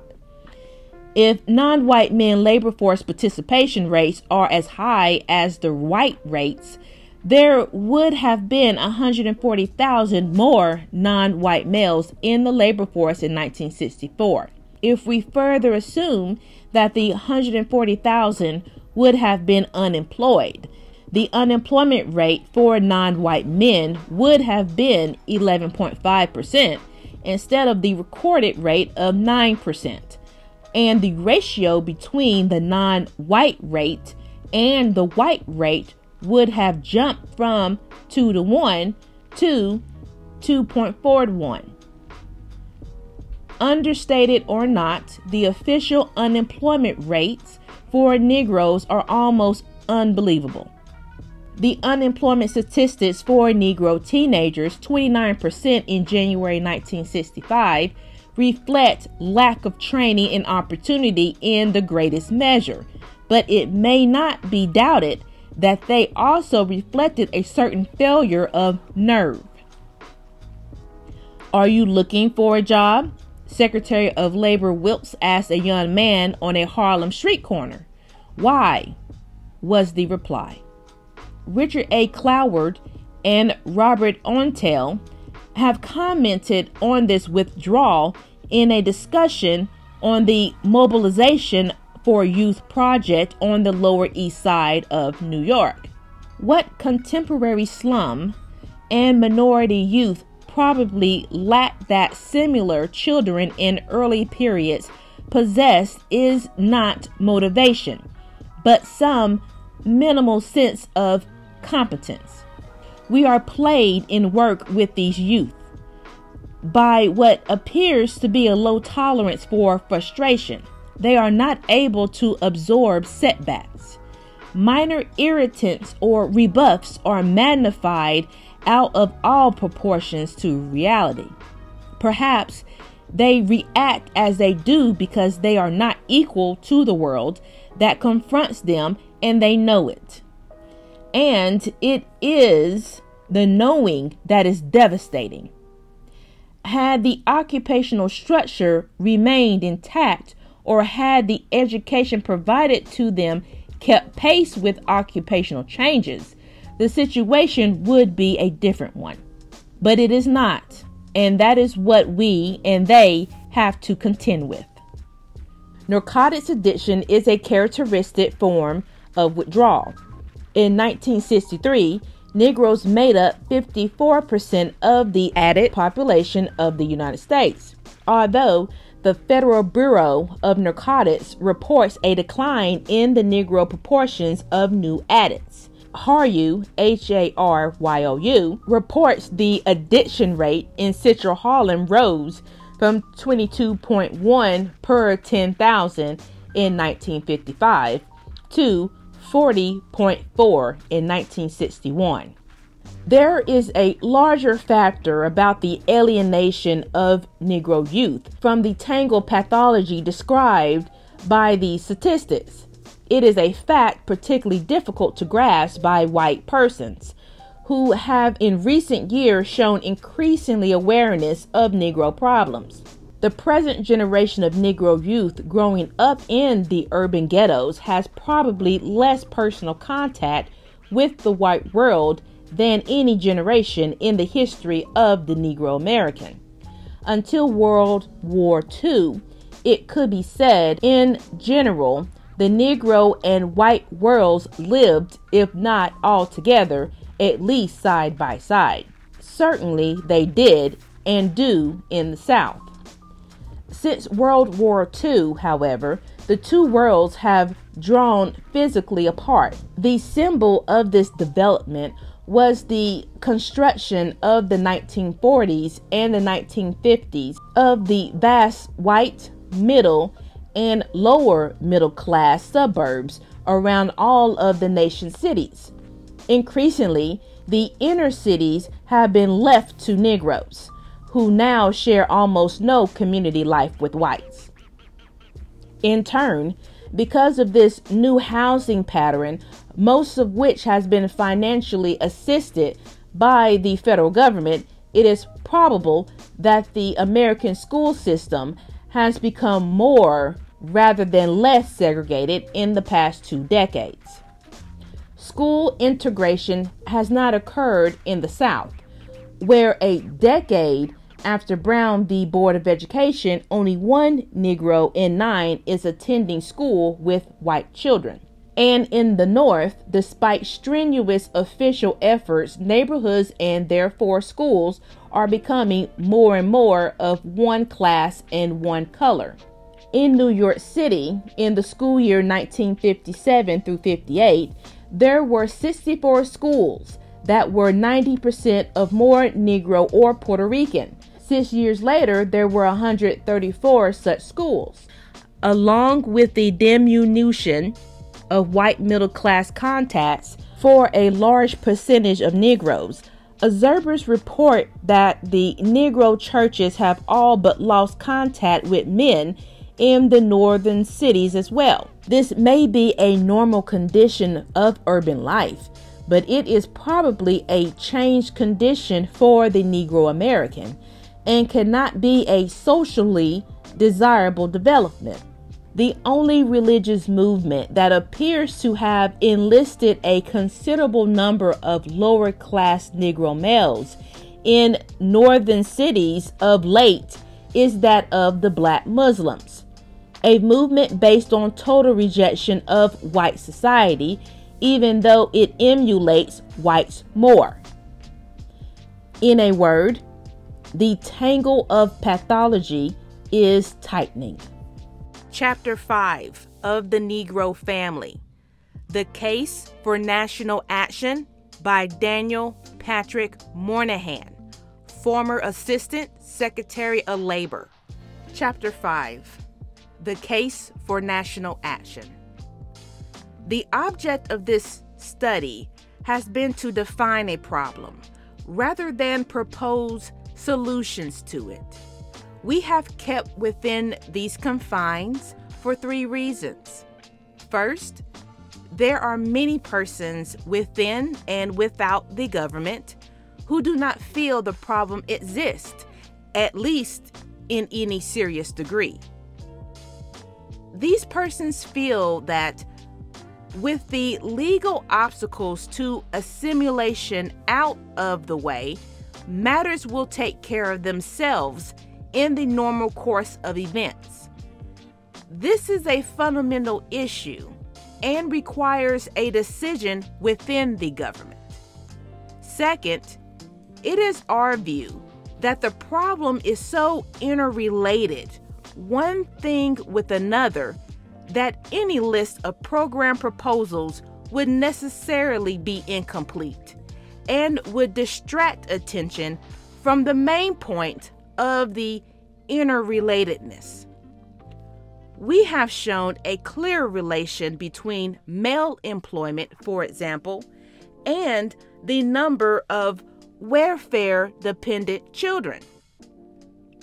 Employment, in turn, reflects educational achievement, which depends in large part on family stability, which reflects employment. where we should break into this cycle and how are the most difficult domestic questions facing the United States. We must first reach agreement on what the problem is. Then we will know what questions must be answered. Third, it is necessary to acknowledge the view held by a number of responsible persons that this problem may in fact be out of control. This is a view with which we empathetically and totally disagree, but the view must be acknowledged. The persistent rise in Negro educational achievement is probably the main trend that belies this thesis. On the other hand, our study has produced some clear indications that the situation may indeed have begun to feed on itself. It may be noted, for example, that for most of the post war period, male Negro unemployment and the number of new AFDC cases rose and fell together as if connected by a chain from 1948 to 1962. The correlation between the two series of data was an astonishing 0.91. This would mean that 83% of the rise and fall in AFDC cases can be statistically ascribed to the rise and fall in the unemployment rate. In 1960, however, for the first time, unemployment declined, but the number of the new AFDC cases rose. In 1963, this happened a second time. In 1964, a third. The possible implications of these and other data are serious enough that they too should be understood before program proposals are made. However, the argument of this paper does lead to one central conclusion. Whatever the specific elements of a national effort designed to resolve this problem, those elements must be coordinated in terms of one general strategy. What then is that problem? We feel the answer is clear enough. Three centuries of injustice have brought about deep seated structural distortions in the life of the Negro American. At this point, the present tangle of pathology is capable of perpetuating itself without assistance from the white world. The cycle can be broken only if these distortions are set right. In a word, a national effort towards the problems of Negro Americans must be directed towards the question of family structure. The object should be to strengthen the Negro family so as to enable it to raise and support its members as do other families. After that, how this group of Americans chooses to run its affairs, take advantage of its opportunities, or fail to do so is none of the nation's business. The fundamental importance and urgency of restoring the Negro American family structure has been evident for some time. E. Franklin Frazier put it most succinctly in 1950. As the result of family disorganization, a large portion of Negro children and youth have not undergone the socialization which only the family can provide. This disorganized families have failed to provide for their emotional needs and have not provided the discipline and habits which are necessary for personality development. Because the disorganized family has failed in its function as a socializing agency, it has handicapped the children in their relations to the institutions in the community. Moreover, family disorganization has been partly responsible for a large amount of juvenile delinquency and adult crime among Negroes. Since the widespread family disorganization among Negroes has resulted from the failure of the father to play the role in family life required by American society. The mitigation of this problem must await those changes in the Negro and American society, which will enable the Negro father to play the role required of him. Nothing has been done in response to Frazier's argument. Matters were left to take care of themselves, and as matters will, grew worse, not better. The problem is now more serious the obstacles greater. There is, however, a profound change for the better in one respect. The president has committed the nation to an all out effort to eliminate poverty wherever it exists among whites or Negroes and a militant, organized, and responsible Negro movement exists to join in that effort.